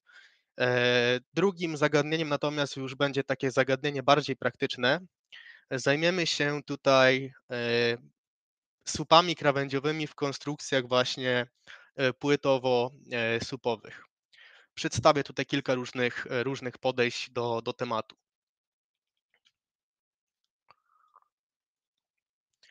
Ok, zacznijmy od tych offsetów. Rozpatrzmy taki bardzo prosty, wręcz trywialny przykład. Mamy dwa elementy liniowe, gdzie pierwszy układ jest bez żadnych offsetów. Tak, jeden element leży bezpośrednio na drugim. Natomiast w drugim układzie już sytuacja jest e, inna. E, zadany został tutaj offset, taki przeszacowany mocno, aby to było lepiej widać, o wartości pół metra, dzięki czemu, e, tak jak widzimy tutaj, gabaryt tego słupa znajdującego się na górze jest no, w prawo oddalony od tego gabarytu słupa znajdującego się poniżej. Na co tutaj trzeba zwrócić uwagę, jest to bardzo, bardzo istotne. Proszę zwrócić uwagę, jeżeli zadamy obciążenie jednostkowe do naszego słupa znajdującego się wyżej, dla tego przy, przykładu po prawej stronie, no to widzimy, że pomimo tego, że gabaryt jest po prawej stronie, to obciążenie nadal znajduje się w miejscu, gdzie jest oś analityczna, oś konstrukcyjna tego słupa. Będzie to miało naprawdę, naprawdę duże znaczenie, jeżeli zerkniemy teraz na przemieszczenia i wykresy momentów. E, jako, że jest ten offset i obciążenie jest przyłożone tak na pewnej odległości, no to to obciążenie przecież ma swoje ramię, no i ten nasz słup znajdujący się wyżej będzie dodatkowo zginało. E, w tym, e, w tym przykładzie, tak jak powiedziałem, offset jest przeszacowany, ale też obciążenie jest malutkie, tak? bo obciążenie no, to jest tylko tak jednostkowe 1 kN, ale no, możemy zwrócić uwagę, że no, wpływa nam to na układ statyczny. Jeżeli chodzi o kalkulację, jest to bardzo proste, tak? siła jednostkowa razy ten offset, no i mamy ten dodatkowy moment, to dodatkowe e, zginanie na tym elemencie znajdującym się wyżej. Idźmy w takim razie krok dalej. Rozpatrzmy teraz taką znowu bardzo prostą konstrukcję. Mamy tutaj belkę i słup. Interesował nas będzie głównie ten narożnik. E, zastanówmy się, co się stanie, jeżeli słup offsetujemy znowuż o pół metra, tym razem w lewą stronę. Jak będzie wyglądał nasz układ sił? Jak mogliśmy się spodziewać, przy, e, bez, przy, przy konstrukcji, gdzie tych offsetów nie ma, nasz słup nie przyjmuje żadnych momentów zginających przy takiej podporze. Jest to jak najbardziej e, logiczne. Natomiast słup, gdzie offset został zastosowany, już ten moment ma. Jest on zginany w pewien sposób. Pomimo tego, że belka zarówno w lewym, jak i w prawym układzie posiada taki sam moment zginający i taką samą siłę poprzeczną, to układ statyczny zmienił się znacznie, jeżeli chodzi o tego supa, no bo jest dodatkowe zginanie. Żeby to zginanie policzyć, można sobie odczytać najprościej, wyciąć węzeł, odczytać siłę Fz, jest ona równa 2,5 kN, wystarczy to pomnożyć przez offset, no i stąd nam się bierze właśnie ten dodatkowy moment. Dobra, no to idźmy znowu krok dalej. E, w tym przykładzie oprócz naszego obciążenia Tutaj to jest akurat obciążenie liniowe, też jednostkowe, 1 kN na metr. Dołóżmy sobie siłę poziomą, również jednostkową. E, I przeanalizujmy, co się stanie, jeżeli tym razem belkę zofsetujemy do góry. Czyli słup jest bez żadnego offsetu, natomiast belka pójdzie do góry. No i teraz warto by było zadać sobie pytanie, czy to obciążenie liniowe w tym momencie wpłynie jakkolwiek na zmianę wyników. E, czy ono będzie powodowało jakiś dodatkowy moment. Zerknijmy. No i sprawa jest bardzo prosta. To obciążenie nie powoduje nam dodatkowego tutaj momentu. Jak cofniemy się kilka slajdów w tył, widzimy, że moment jest taki sam jak w tym przykładzie e, wcześniej. Natomiast dodatkowy moment będzie nam powodowała ta siła, która znajduje się tutaj, ta siła jednostkowa, e, no bo działa ona znowu na offsecie, więc e, tak jakby tą belkę nam zegnie w przeciwnym kierunku, że tak powiem. Znowu kalkulacja prosta, 1 razy pół, no to to jest pół. No i tutaj znowu różnica pół kilonewtonometra, no i e, tak właśnie to tutaj wygląda. No i teraz ostatni przykład, jeżeli chodzi o e, takie wprowadzenie do tych offsetów. E, znowu poszliśmy o krok dalej. Tym razem zamiast siły jednostkowej wprowadziliśmy tutaj obciążenie liniowe jednostkowe. Belka jest dalej na offsecie o pół metra do góry. Jak wyglądają zatem siły wewnętrzne. Proszę zwrócić uwagę, że niesoffsetowane elementy, czyli zarówno supy, e, jak i e, zarówno supy i moment zginający w tych supach, jak również e, siła tnąca w tych supach jest taka sama. Siła tnąca w belce również jest taka sama. Natomiast znacznie zmieni nam się moment zginający w podporze, gdzie tego momentu być nie powinno, taki moment dodatkowy nam powstanie. E, I z tym trzeba jakby uważać, trzeba mieć świadomość, że takie zachowanie właśnie offsety wywołują. Jeżeli chodzi o kalkulację, znowu prosta sprawa. Wycinamy węzeł, siła jest 5 e, kN, siła tnąca, mnożymy to razy offset i dodajemy do, do 12,5 te 2,5, mamy 15, mamy 2,5. Więc jeżeli chodzi o konstrukcje prętowe, no to e, sprawa jest dosyć prosta. Wszystko da się właśnie tym wycinaniem węzłów, takim czysto, czysto inżynierskim podejściem sobie e, wyjaśnić. Natomiast jak to będzie wyglądało, kiedy my takie supy e, będziemy chcieli powiedzmy zoffsetować, przesunąć, ale w relacji z elementami powierzchniowymi, tak, czyli z, z stropami, z płytami. Rozpatrzmy sobie tutaj e, taki e, prosty prosty obiekt. Posiada on, posiada on 15 kondygnacji nadziemnych, jedną podziemną, beton też jakiś taki w miarę standardowy, C30 na 37, e, wymiary 15 na 25, e, wysokość kondygnacji 5 metrów. E, rozpatrzyłem tutaj tylko ciężar własny, jest to taki przykład powiedzmy akademicki, żeby sobie zobaczyć jak to wpływa, już tutaj nie ma innych, innych obciążeń. Podpora sprężysta o przedstawionej tutaj sprężystości pionowej. Jeżeli chodzi o jakby geometrię tego budynku, supy starałem się zmieniać przekrój na wysokości. Pierwsze 5 kondygnacji to jest 50 na 50, no i później ten przekrój sobie stopniowo nam maleje. To samo jeżeli chodzi o grubość e, elementów powierzchniowych. Strop jest e, tej samej grubości na każdej kondygnacji, natomiast zmienia nam się grubość trzonu e, względem wysokości danej kondygnacji.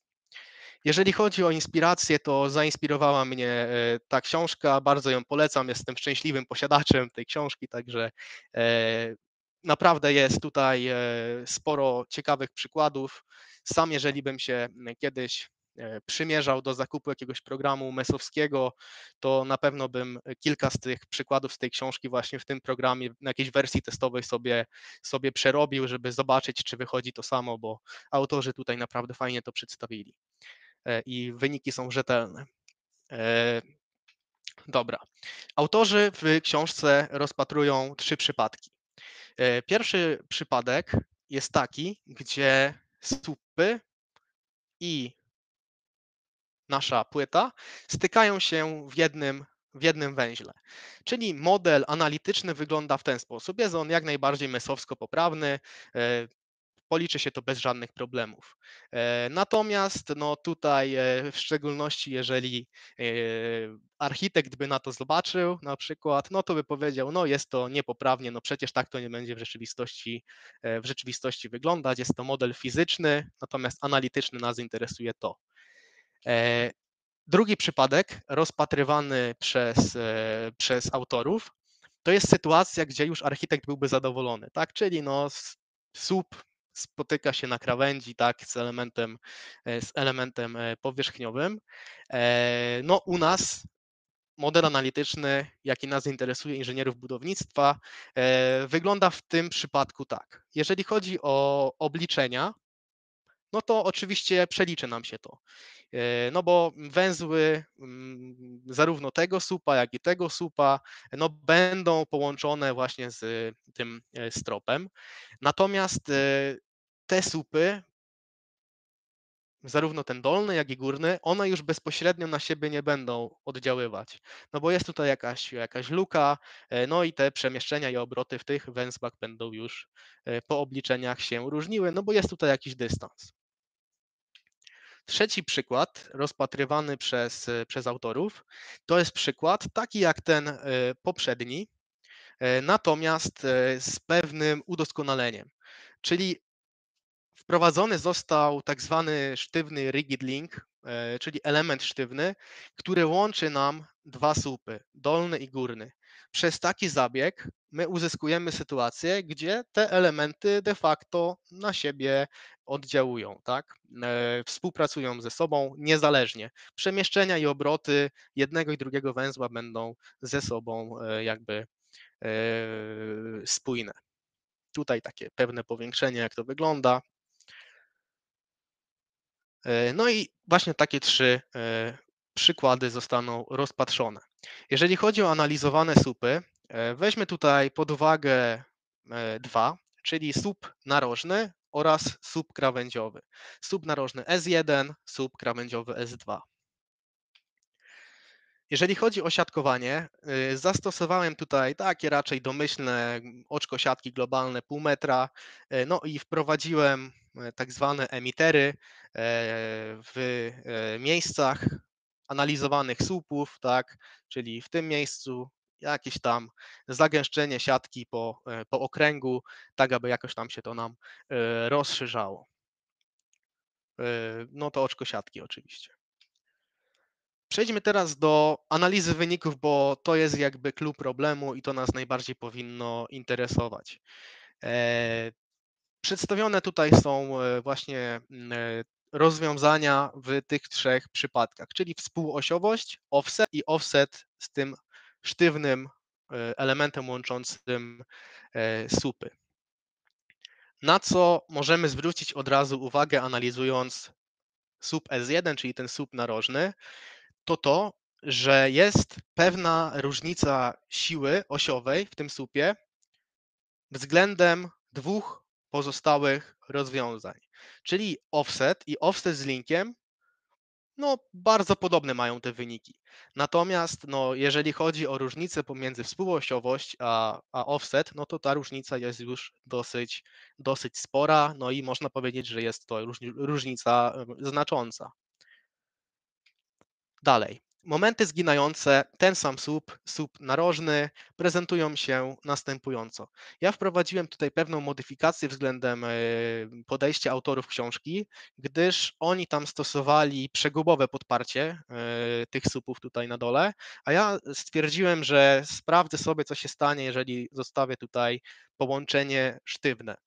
No i już na pierwszy rzut oka znowu możemy zobaczyć pewną różnicę. E, w modelu, gdzie te elementy były współosiowe, na samym dole, na pierwszej tutaj e, powiedzmy kondygnacji nadziemnej, ten moment jest bardzo, bardzo mały. Natomiast patrząc już do kolejnych rozwiązań, ten moment zwiększa nam się. Jest to różnica e, duża, nieduża, no bo tutaj jest około tam 0,07, tutaj jest tam 6 z hakiem, więc no, e, różnica jest, jest, jest pewna. Jeżeli chodzi o e, jakieś tutaj bardziej dokładne wyniki, przejdziemy sobie do tego y, troszeczkę później. E, zobaczmy teraz, co się dzieje na słupie krawędziowym. E, I znowu mamy tutaj pewne różnice.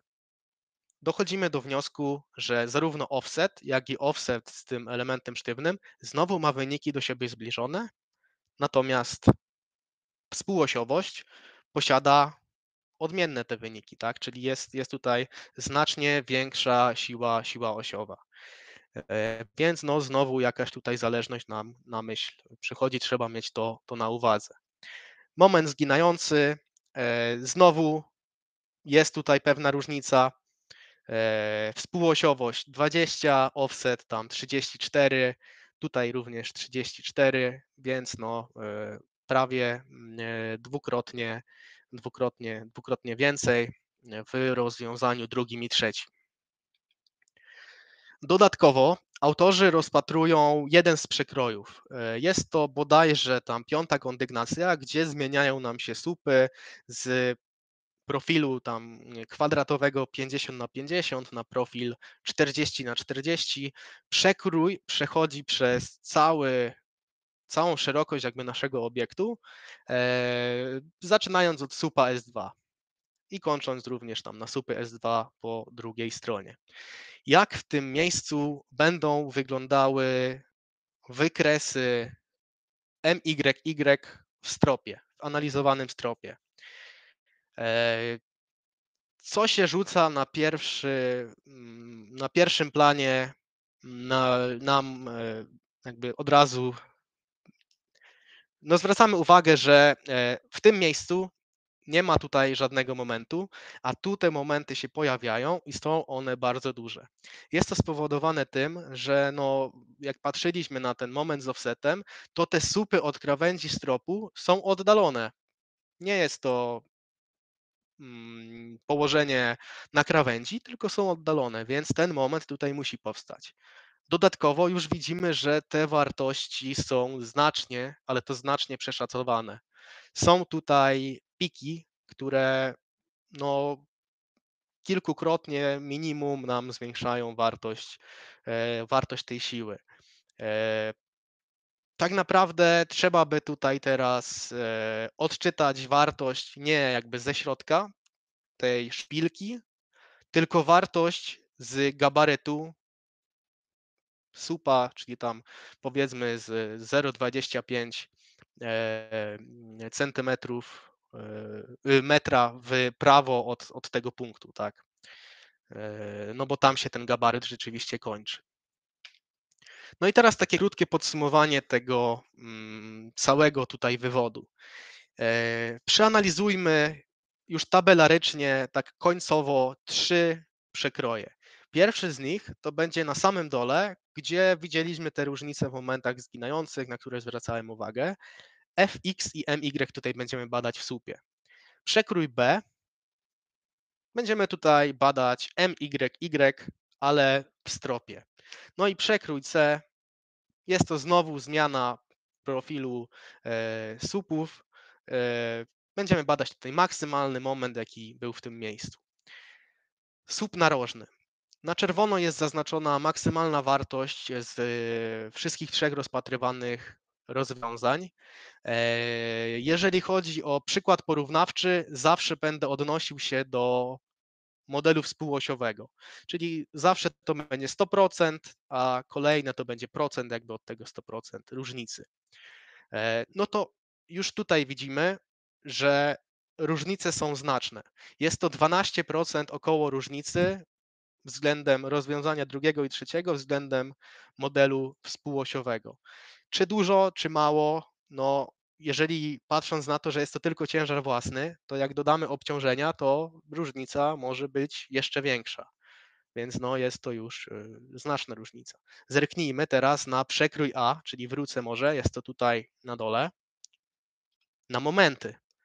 No, współosiowo 0,7 kN, a zoffsetowane, powiedzmy zoffsetowane e, konstrukcje już 6,67. Różnica w tym momencie kolosalna. E, więc no, trzeba by się zastanowić, e, zastanowić, z czego ona tak naprawdę wynika. No i dalej przekrój C, czyli ten najwyżej. Patrzymy. Tutaj różnica już jest niewielka, ale jakaś tam dalej, dalej istnieje. Dalej, sub S2. Patrzymy, znowu jakieś różnice są. No ale tym razem w drugą stronę. Tu było 100%, tak? Tu było większa wartość od tego 100%, tu jest 100%, a siły są mniejsze. Więc no znowu, projektancie, jak, jak do tego podejdziesz, nie? E, raz będę stosował to rozwiązanie, raz to rozwiązanie. No, no nie, no muszę wybrać jedno z nich, e, aby stosować je jakby wszędzie i mieć pewność, że wyniki są, są poprawne. E, zobaczmy dalej. E, analiza momentu zginającego w przekroju A, czyli na samym dole. No 65% jest sporo, nie? No weryfikując taki słup, no na pewno by nam to e, zmieniło tutaj, tutaj wiele. Dalej, przekrój C, różnica około tam 35% względem offsetu, a względem tego trzeciego rozwiązania, no 50% prawie. To znowu bardzo dużo. No i tutaj na to nawet bym tak szczerze nie patrzył, bo są to piki, nie ma co analizować tych pików, ale różnica jest, nie? E, kolosalna. E, te piki i tak trzeba by było jakoś wyeliminować. No nie zbroilibyśmy na pewno na taki moment zginający. I teraz zrobiłem jakby jedną rzecz, no bo warto by było sobie zadać pytanie, e, jak do tego podejść koniec końców, które z tych trzech rozwiązań wybrać, tak aby było poprawnie. Autorzy dochodzą do wniosku w książce, że rozwiązanie drugie daje najbardziej niekorzystne wyniki. Co prawda nie sugerują oni tam, aby stosować to rozwiązanie, ale no, clue jest takie, że no, chcąc spać spokojnie, projektując bezpiecznie, trzeba by pewnie to drugie rozwiązanie e, stosować, aczkolwiek i tak większość pewnie z, z nas by wybrało rozwiązanie pierwsze, czyli współosiowo sobie to, e, to liczyć i też by było pewnie ok. Ale dalej by były te piki, nie? Więc no i tak trzeba jakoś do tego inaczej podejść. No i ja tutaj e, przedstawię Państwu czwarte rozwiązanie, którego już w literaturze tutaj przedstawionej przeze mnie nie ma. E, jest to rozwiązanie, które już wiele programów mesowskich e, posiada. Ja to przedstawię na podstawie Advanced Designa, wiadomo. Jest tutaj taka opcja wygładzania wartości ekstremalnych, czyli co to dokładnie jest, tak na chłopski rozum? Jeżeli mamy tego supa i jest to rzeczywiście szpilka, no to przecież jak będziemy mieć płytę, to de facto ta płyta nie oprze nam się na jednym punkcie, tylko na gabarycie całego supa. Więc no fajnie by było ten gabaryt jakoś odwzorować. No i właśnie od tego jest to narzędzie. To narzędzie pozwala nam zdefiniować jakby sztywny obszar, który wyimaginuje nam właśnie gabaryt supa. Czyli nie będzie to szpilka, tylko jakiś tam kwadrat, prostokąt, koło, czy cokolwiek by tutaj e, użytkownik chciał zadać, to to zrobi. No i w zasadzie już dużo programów to potrafi zrobić, ale design posiada taką właśnie zaletę, że on to robi automatycznie. Czyli jak ja przejdę na opcję programu, wyniki, poustawiam sobie tutaj jakieś tam wartości, przyjąłbym tutaj sobie 0, bo to jest tam bezpiecznie, więc, więc może trochę przeszacowane, ale na pewno bezpieczne. Kliknąłbym OK, przeprowadziłbym obliczenia, to program sam z siebie by mi utworzył takie tutaj powiedzmy zielone węzełki i czerwony węzełek na środku. Czyli jest to właśnie połączenie sztywne, te zielone węzełki to są narożniki naszego gabarytu. No i słup teraz, przepraszam, płyta nie opiera nam się na szpilce, tylko ona sztywno opiera się na tym całym gabarycie. Jakie mamy tutaj plusy? Po pierwsze, nie trzeba stosować tych emiterów, no bo je się stosuje po to właśnie, żeby ten pik tam jakoś wyłapać. Jest to zautomatyzowane, tak naprawdę no, jedno ustawienie, tutaj, drugie tutaj, obliczenia i program sam to za nas zrobi. tak naprawdę no jest to według mnie rzeczywista praca konstrukcji, no bo na szpilce się to nam nie oprze, tylko na gabarycie.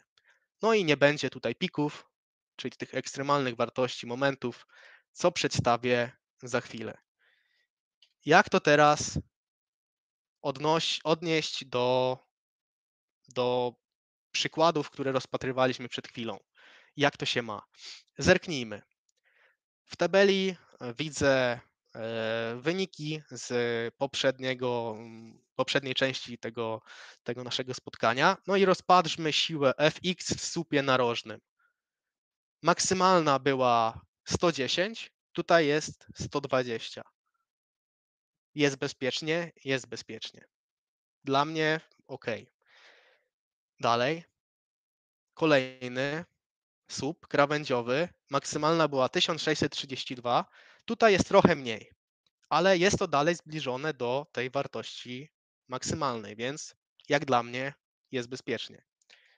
Momenty. Przekrój A i przekrój C. W przekroju A miałem moment 6,67, tu mam moment 12,59. Według mnie jest to też jakby yy, no, no bezpiecznie, nie? Yy, jakby ja tutaj to weryfikowałem na offsetowanej konstrukcji, czyli e, zadałem te połączenia sztywne tak jakby do przykładu numer dwa, a jeżeli ja bym to zadał do tego przykładu numer jeden, to prawdopodobnie ten moment byłby tutaj mniejszy, więc tak też mógłbym do tego podejść. Porównując przekrój C, mam 14,62, tu mam 24,41. Bezpiecznie, bezpiecznie. Dalej, sub narożny, te same momenty.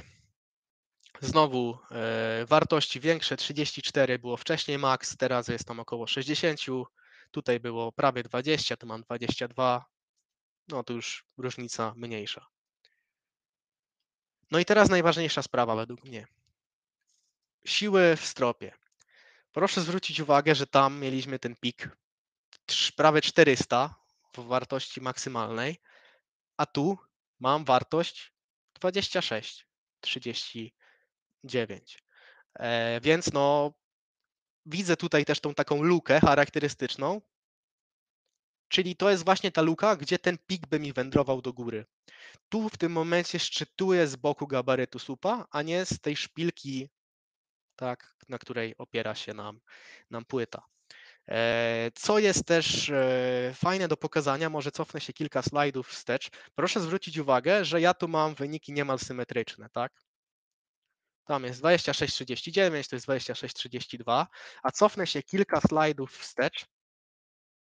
Proszę zwrócić uwagę, ten słup, to miejsce było zagęszczane siatką, a to miejsce nie było zagęszczane siatką. I proszę zwrócić uwagę, że są to te same konstrukcje, tak? I dlaczego tutaj nie ma symetrii?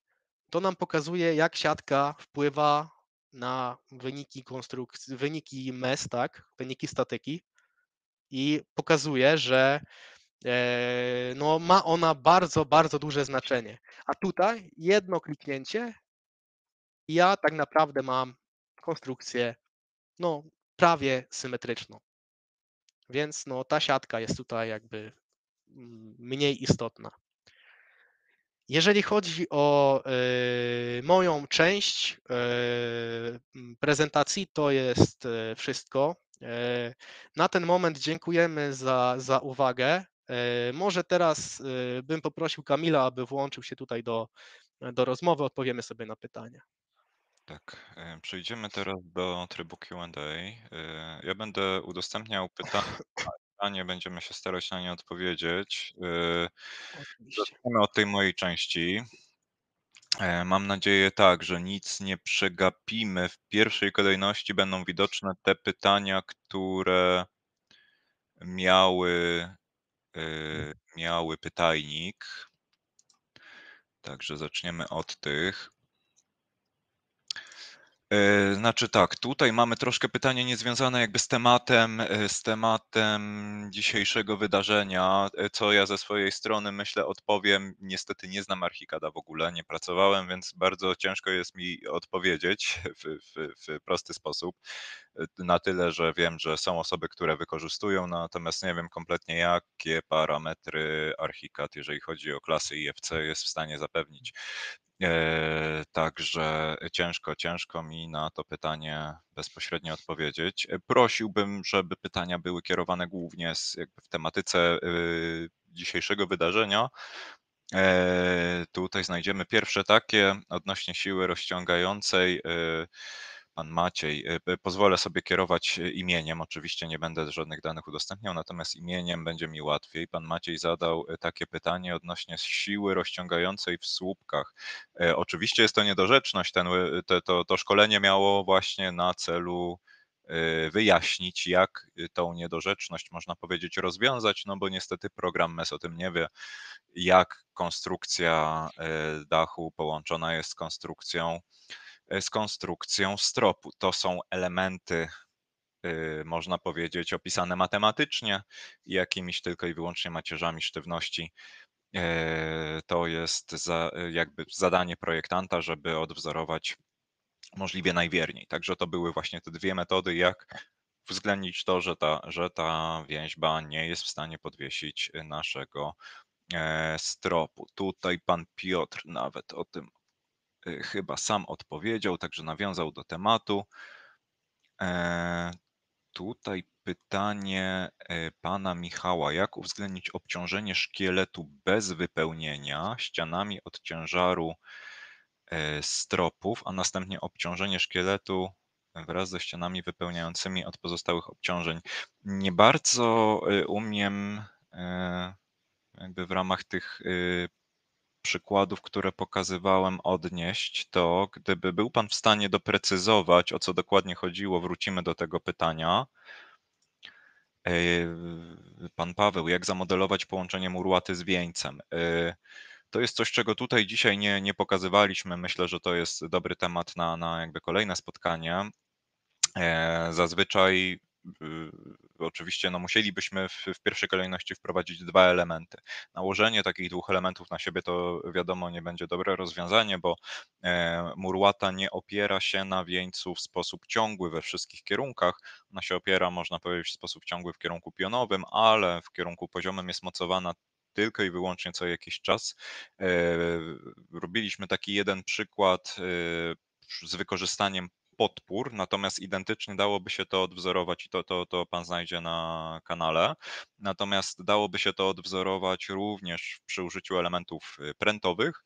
Eee, wtedy najłatwiej jest wykorzystać elementy łączące w jakikolwiek sposób. Czyli mamy 2 elementy prętowe, które są rozsunięte, wieniec i, e, i, y, murłata.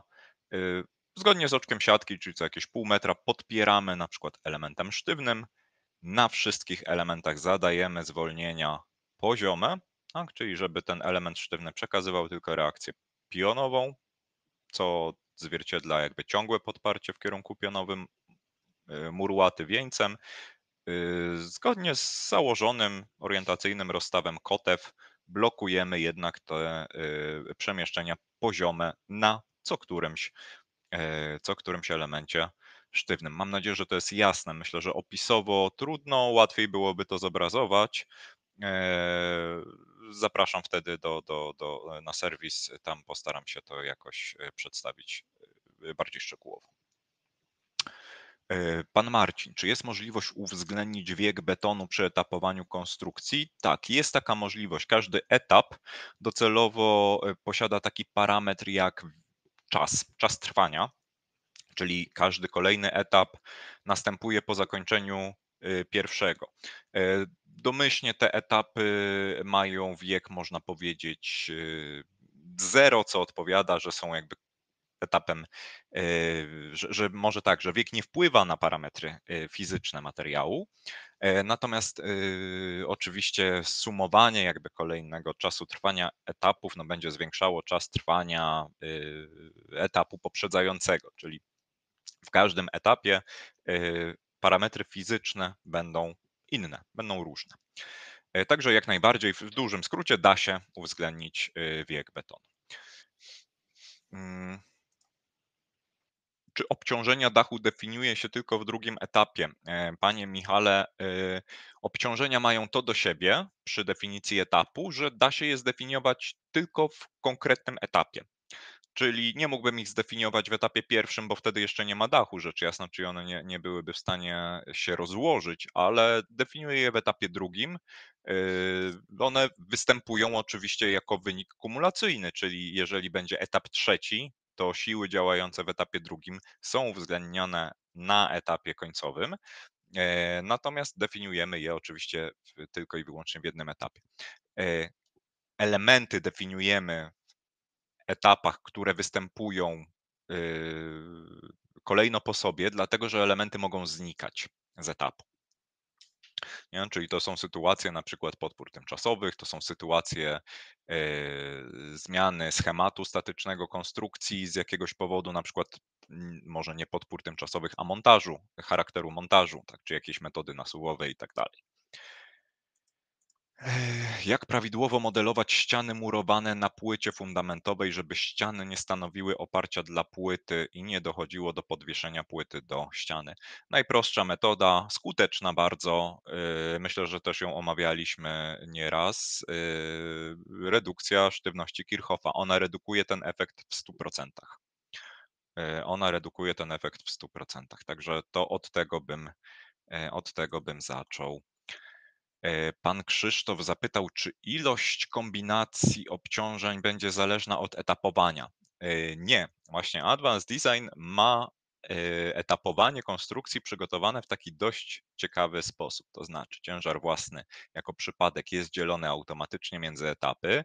Przypadki obciążeń nie muszą być związane z etapami. To znaczy, mogę mieć jakiś przypadek obciążenia, na przykład obciążenie użytkowe, które jest przyłożone na stropie pierwszym, stropie drugim, trzecim do dziesiątego. E, nie muszę robić 10 przypadków obciążeń użytkowych, żeby uwzględnić etapowanie, bo w ramach tego przypadku są obciążenia, a to obciążenia przypisuję do etapu. Dlatego ostatecznie będę miał kombinację, która zawiera tylko ten jeden przypadek obciążenia, a to, w którym etapie występują obciążenia, już zależy oczywiście ode mnie czyli na poszczególnych etapach, ta kombinacja będzie dawała różne rezultaty w różnych elementach. E, reasumując, jak y, przeprowadzić tok obliczeniowy, aby elementy niezwiązane ze sobą w węzłach nie powodowały efektów y, podwieszeń, etapowość.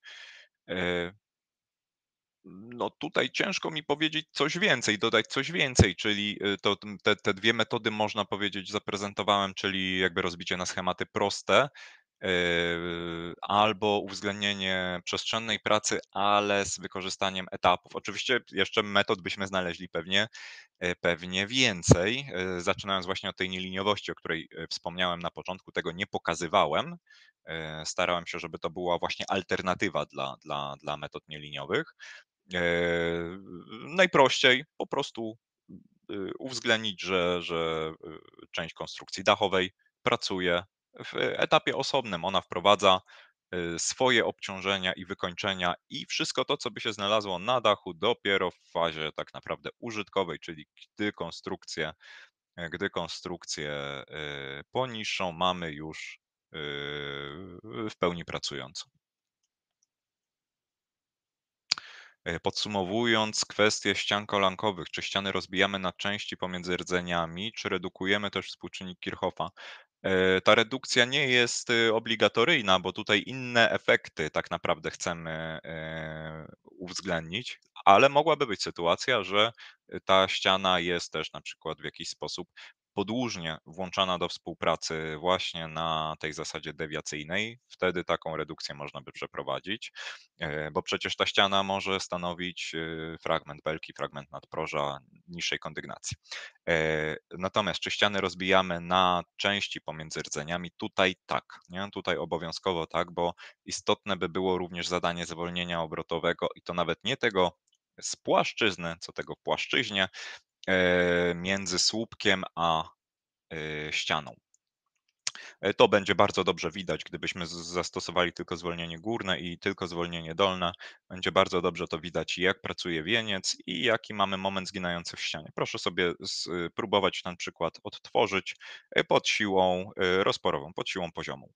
Wtedy będzie bardzo dobrze widać, dlaczego warto byłoby podzielić. No i proponuję też tą drugą metodę zastosować z ze zwolnieniem translacyjnym. E, tam troszkę trzeba bardziej dbać o stateczność e, takiego modelu i proszę się też nie przejmować tym, że ściana kolankowa z rdzeni odjeżdża, ściana z muru zostaje w miejscu, w którym była. To są oczywiście mikroskopijne różnice, ale tak zakładamy, że wtedy e, ta konstrukcja pracuje. Na inne obciążenia rdzenie na pionowe, znaczy na poziome, przepraszam, i pionowe, a ściana tylko i wyłącznie na pionowe. Eee, tu już chyba przechodzimy do pytań związanych z częścią pana Mateusza. Tutaj jest jeszcze pytanie na pewno do do Eee, tej części mojej, mam nadzieję, że że że do tej mojej, czyli etapowanie. E, czy można uwzględnić znikające w kolejnych etapach elementy, na przykład podpory tymczasowe? E, tu już, e, można powiedzieć, przez przypadek odpowiedziałem przy innym pytaniu. Tak, elementy mogą występować, i znikać w dowolnym etapie. Mogą się pojawić w pierwszym, być realizowane do końca. To będą elementy konstrukcyjne, na przykład najniższej kondygnacji, ale mogą to być też elementy na przykład tymczasowe, które będą yy, w pierwszym i drugim etapie, ale od trzeciego na przykład do ostatniego już znikną, e, co będzie po prostu wpływało na ten schemat statyczny w fazie montażu, w fazie montażu na przykład do trzeciej kondygnacji.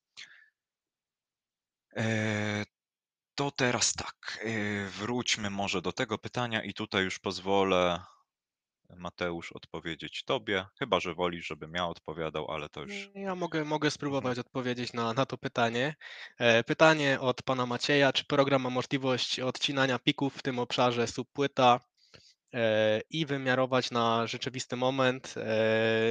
Jeżeli chodzi o jakby graficzne wyeliminowanie tego piku i odczytanie tej siły, to jest takie narzędzie w programie, które nam to pozwala zrobić. Po prostu zjeżdżamy sobie wtedy takim suwakiem e, i e, ten pik nam e, wtedy znika i możemy sobie zobaczyć taką najbliższą siłę, która, która jest najbardziej prawdopodobna tuż za tym pikiem.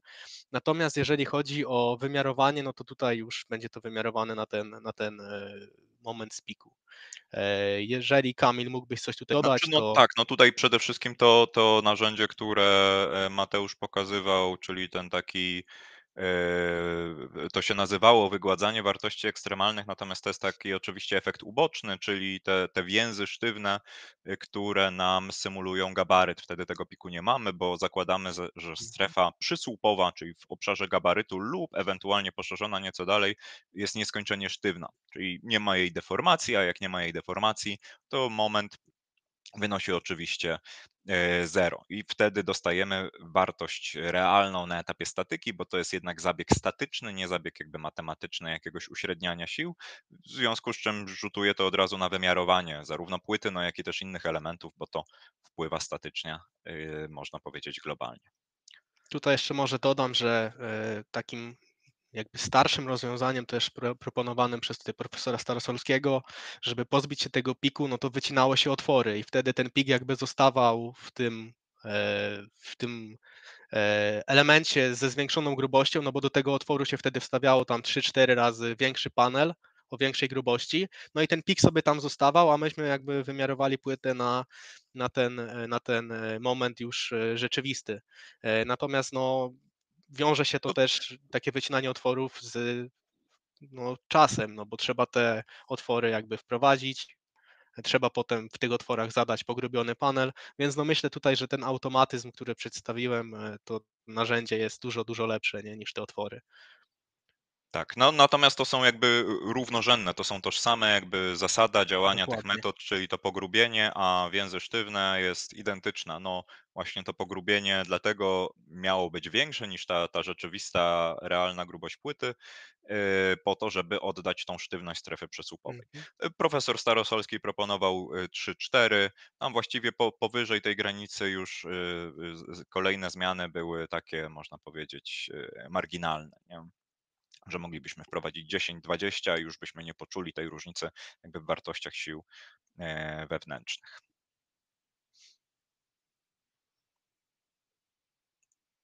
E, Pan Paweł, w jakiej przykładowej sytuacji nie stosować wygładzania wartości ekstremalnych? No, ty- y, y, y, mogę, mogę odpowiedzieć na, na to pytanie. Nie, nie ma takiej sytuacji, w której mm, projektant mógłby nie chcieć e, stosować te, tego, tego podejścia.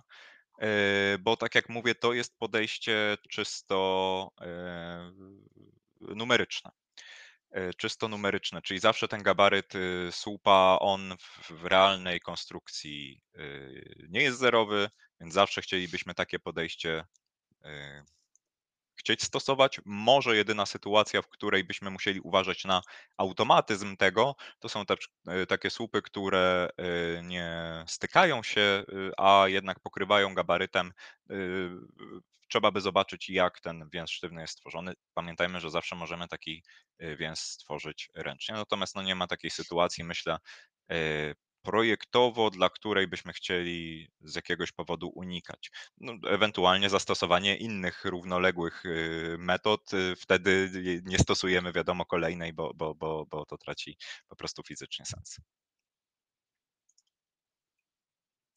Yy, Czy wraz z wiekiem betonu w etapowaniu uwzględniane jest zmienne pełzanie? Panie Michale, na razie nie. Na razie są to parametry fizyczne, czyli wytrzymałość, moduł Younga, moduł Kirchhoffa. E, To się zmienia wraz z wiekiem. E, Mamy w planach również rozwój e, etapowania konstrukcyjnego. To jest narzędzie nowe, które się pojawiło rok temu. W takiej formie, w jakiej jest teraz, troszkę wzbogacone o, o, o pewne opcje w obecnej wersji. Natomiast faktycznie jednym z, z kolejnych etapów planowanych to jest rozwój w, o, y, można powiedzieć, troszkę szerszy zakres e, parametrów materiałowych dla etapowania. Jednym z nich ma być y, efekt pełzania uwzględniany na etapie y, statyki. E, Także na razie nie umiem obiecać, co dokładnie, jak to będzie wyglądało, ale przewidujemy gdzieś w przyszłości.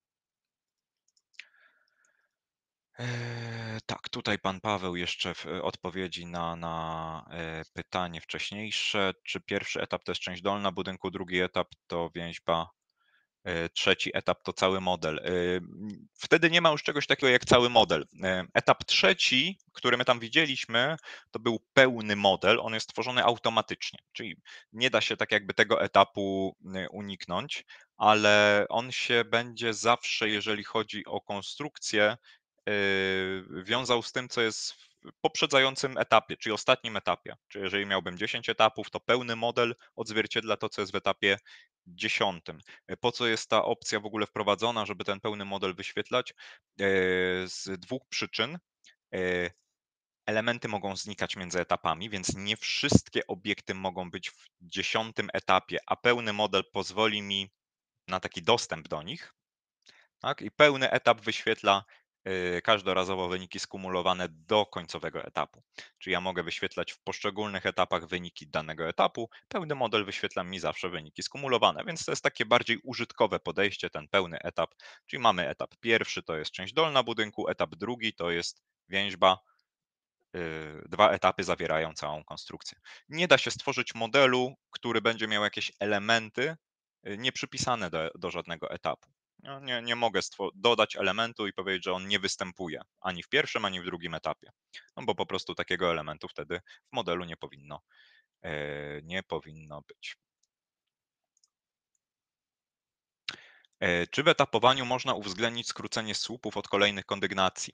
E, Odpowiedź jest y, i tak, i nie, bo fizycznie nie uwzględniamy tego skrócenia, bo y, proszę pamiętać, że etapowanie konstrukcji z takiego silnikowego punktu widzenia y, standardowo ma dwa podejścia. Metodę kumulacyjną i coś, co, co literaturowo nazywa się taką metodą modelu ducha, tak byśmy to tłumaczyli pewnie w, w, wolnym bardzo tłumaczeniu, czyli taki ghost model, gdzie analizujemy wpływ efektów poprzedniego etapu na, na kolejny etap. W typowych sytuacjach kumulowanie wyników uwzględnia ten efekt. W mniej typowych sytuacjach, szczególnie tam, gdzie chcemy stosować też efekty nieliniowe, konieczne byłoby zastosowanie tej drugiej metody. Na razie w Advanced Designie używamy metody wyników skumulowanych. Ona pozwala rozwiązywać zadania szybko, natomiast nie wszystkie efekty właśnie takie bardziej nietypowe jesteśmy w stanie uchwycić. Tutaj na przykład ten efekt w tym zadaniu, który, który analizowaliśmy, taki efekt nie byłby potrzebny. E, w przypadku budynków wysokościowych metoda wyników skumulowanych daje już e, ten efekt nieściśliwości słupów i zmiany charakteru na, na, na pracę trzonową, e, znaczy na pracę słupową, przepraszam, w, w kontrze do, do, do tego efektu pracy trzonowej uwzględnienie skrócenia przy, przy jakby w tych warunkach montażu, że my do konstrukcji odkształconej przykładamy dopiero kolejny, kolejny etap na fazie montażu, to byłby jeszcze trzeci efekt, który byśmy mogli uwzględnić dopiero tą dodatkową metodą. Tego na razie, tego na razie nie ma. Też jest to faktycznie przewidziane. Jeszcze zajrzę na ten czat publiczny. Pytanie, czy tutaj są jakieś yy, czy są jakieś pytania niezakończone pytajnikiem? Yy, Tak, było, było jedno. tak, było jedno na pewno o nagranie, które, na które y, tutaj y, organizatorzy odpowiedzieli, z tego co widzę. Y, czy coś jeszcze? Tutaj chyba to Mhm, pytanie tak, jeszcze było. tak, tak. Pozwolę sobie udostępnić. E, Ściany, ściany murowane, e, połączenie między rdzeniami, słupami żelbetowymi, płytami żelbetowymi, fundamentami. Tutaj oczywiście to będzie bardzo zależne od e, wykonstruowania w wielu przypadkach, czyli połączenie między rdzeniami, słupami żelbetowymi i tak dalej. To pytanie, jak my te czpienie realizujemy, jak my te słupy realizujemy, czy realizujemy je przez strzępia, czy realizujemy przez jakieś łączniki, na przykład murfory, e, to wtedy wiadomo, że to z założenia będzie połączenie raczej sztywne, bo na tym nam też zależy. E, często e, raczej przyjmiemy po prostu klasyczny przegub. Natomiast jeżeli chodzi o połączenia poziome między, między kolejnymi kondygnacjami, to tutaj pamiętajmy, że do samego wymiarowania. My oczekujemy jednak jakiegoś mimośrodu ze stropu, czyli to też powinno być pewnie w dużym zakresie połączenie sztywne, bo, bo yy, to by nam robił załącznik C. Gdybyśmy do takiego obliczania ścian podeszli e, według metod uproszczonych, czyli metodą yy, tej, tej ramy, e, ramy zastępczej, proszę pamiętać, że tam podstawowym założeniem jest, że konstrukcja ściany murowane jest połączona sztywno ze stropami, połączona jest sztywno z kondygnacją niższą, wyższą. My ten moment redukujemy, który, który otrzymujemy z tej metody e, współczynnikiem K, ale zakładamy połączenie e, pierwotnie, pierwotnie sztywne. Ja tutaj się kieruję taką zasadą, że faktycznie przy wielu kondygnacjach tutaj najważniejsze będą ściany zewnętrzne, bo to, to w nich się spodziewamy największego momentu. Najważniejsze będą ściany zewnętrzne, jak my łączymy płytę po, po zewnątrz i przy wielu kondygnacjach, no jednak te, te wyższe kondygnacje odejmują nam w ogóle tą możliwość deformacji i pełnego obrotu y, płyty e, stropowej, co od razu rzutuje na mimośrodzie obciążenia ze stropu, czyli jakiś ten moment w ścianie jest się w stanie pojawić, jakiś ten moment częściowego utwierdzenia jest się w stanie w stropie pojawić. Pamiętajmy, że ściana murowana ma znacznie mniejszy moduł Younga niż strop żelbetowy, niż płyta stropu, więc to też nie są wartości tych momentów, wiadomo, duże ostatnia kondygnacja, dwie ostatnie kondygnacje. Tutaj już się pewnie zastanawiamy nad bardziej swobodnymi połączeniami. Zdecydowanie. Nie? E, dobrze.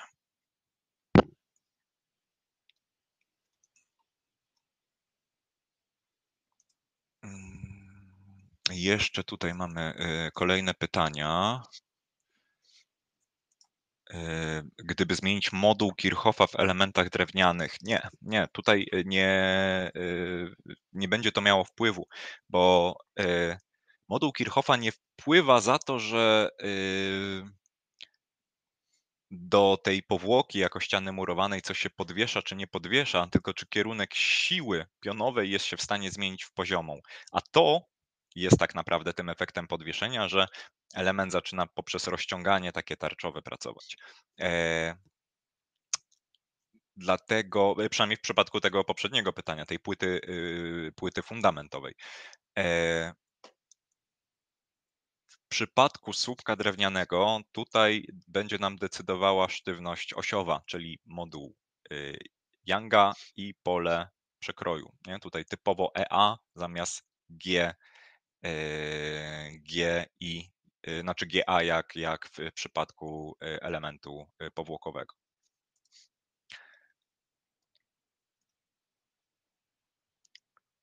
Czy jest możliwość kontaktu? E, to pytanie jest już mniej techniczne, dla nas oczywiście też ważne. Jak najbardziej jest możliwość kontaktu, panie Marcinie.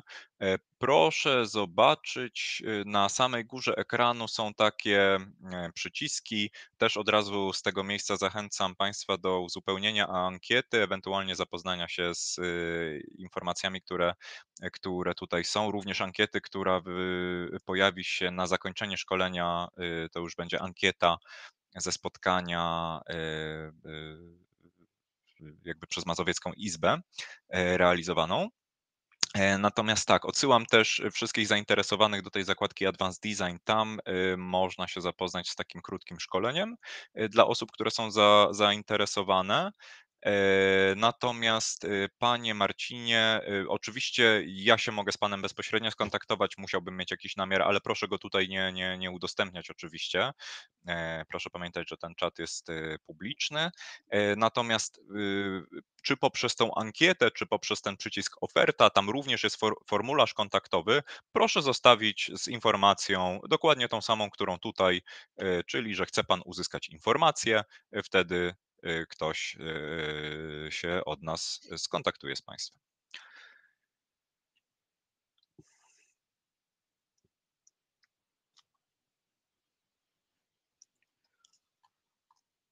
Więcej pytań tutaj chyba nie widzę e, na ten moment. Tak, poczekajmy jeszcze minutkę. Ja może Natomiast... przez, ten, przez tą krótką chwilę jeszcze wrócę do tego pierwszego pytania o IFC, mhm. żeby też tutaj nie zostawiać jakby bez takiej w ogóle odpowiedzi. Dwie minuty nam tutaj zostały, więc może odniosę się. W ogóle czym jest plik IFC? Plik IFC jest to plik, e, format w zasadzie IFC, jest to format, który pozwala każdemu użytkownikowi, każdej firmie wprowadzić jakby go do siebie. On jest open, tak jakby. No i to, co dana firma sobie zawrze w tym formacie, to już zależy jakby od nich bezpośrednio. No i teraz, jak wygląda sprawa Archicada? No, my jako Gretek nie wiemy niestety, jakie klasy na przykład obiektów ma Archicad. E, nie wiemy, czy te klasy są kompatybilne jakby z naszymi klasami, które design jakby odczytuje. Co mogę powiedzieć? No to te klasy są na przykład takie same jak Revitowe, jak klasy Advanced Steela, no bo są to programy jakby e, współpracujące ze sobą bezpośrednio. A to, czy Archicad takie klasy wypuszcza, no my tego nie jesteśmy w stanie jakby stwierdzić. Dlatego też e, jest to dla nas często problem do bezpośredniego odpowiedzenia. My byśmy potrzebowali takiego pliku IFC bezpośrednio z Archicada, no bo nie mamy licencji, nie możemy sobie sami takiego pliku jakby dostarczyć, więc jeżeli będzie jakieś pytanie, czy z danego programu można coś otworzyć w designie, to proszę przesyłać pliki IFC z tego programu do nas i my wtedy postaramy się ten plik w jakikolwiek sposób otworzyć. E, plik IFC z Archicada został wysłany do e, pana e, Krzyśka. Zobaczę w historii maili, czy, czy ten plik tam jest i postaram się to, to zweryfikować i wrócić do tego, do tego zgłoszenia. Jest też swoją drogą taki darmowy programik. To wystarczy sobie wpisać IFC Viewer w Google, nawet kilka pewnie ich jest. I taki jakby programik pozwala nam ten plik IFC otworzyć i porównać sobie klasy, więc wystarczy wyeksportować plik z ArchiCADa, wystarczy wyeksportować osobny plik e, z Advanced Designa i zobaczyć, czy na przykład belka ma taką samą klasę w IFC e, z ArchiCADa i z Advanced Designa. Jeżeli klasa jest taka sama, no to wtedy design po prostu ten plik, ten, ten element rozpozna, nie? Jeżeli są takie solidy, jakieś e, bryły, no to prawdopodobnie no, nie będzie to możliwe, no bo wiadomo, klasa dla takich elementów jest inna, różna, nie? Dobra, e, czas nam się skończył. Nie wiem, czy Kamil masz jeszcze do dodania tutaj w sprawie naszego spotkania, czy nie, ja Czy- dziękuję serdecznie. Dziękuję y, wszystkim za uczestnictwo. Y, Na pewno się jeszcze słyszymy. y, y, Myślę, że będziemy dalej realizować y, wspólnie z Izbą Mazowiecką kolejne szkolenia. Y, Także y, czy z naszej strony również zapraszam na, na, na, na y, y, te wydarzenia realizowane bezpośrednio przez nas. Y, Natomiast no, dziękujemy serdecznie za Dziękujemy uwagę, pięknie. za, za uczestnictwo.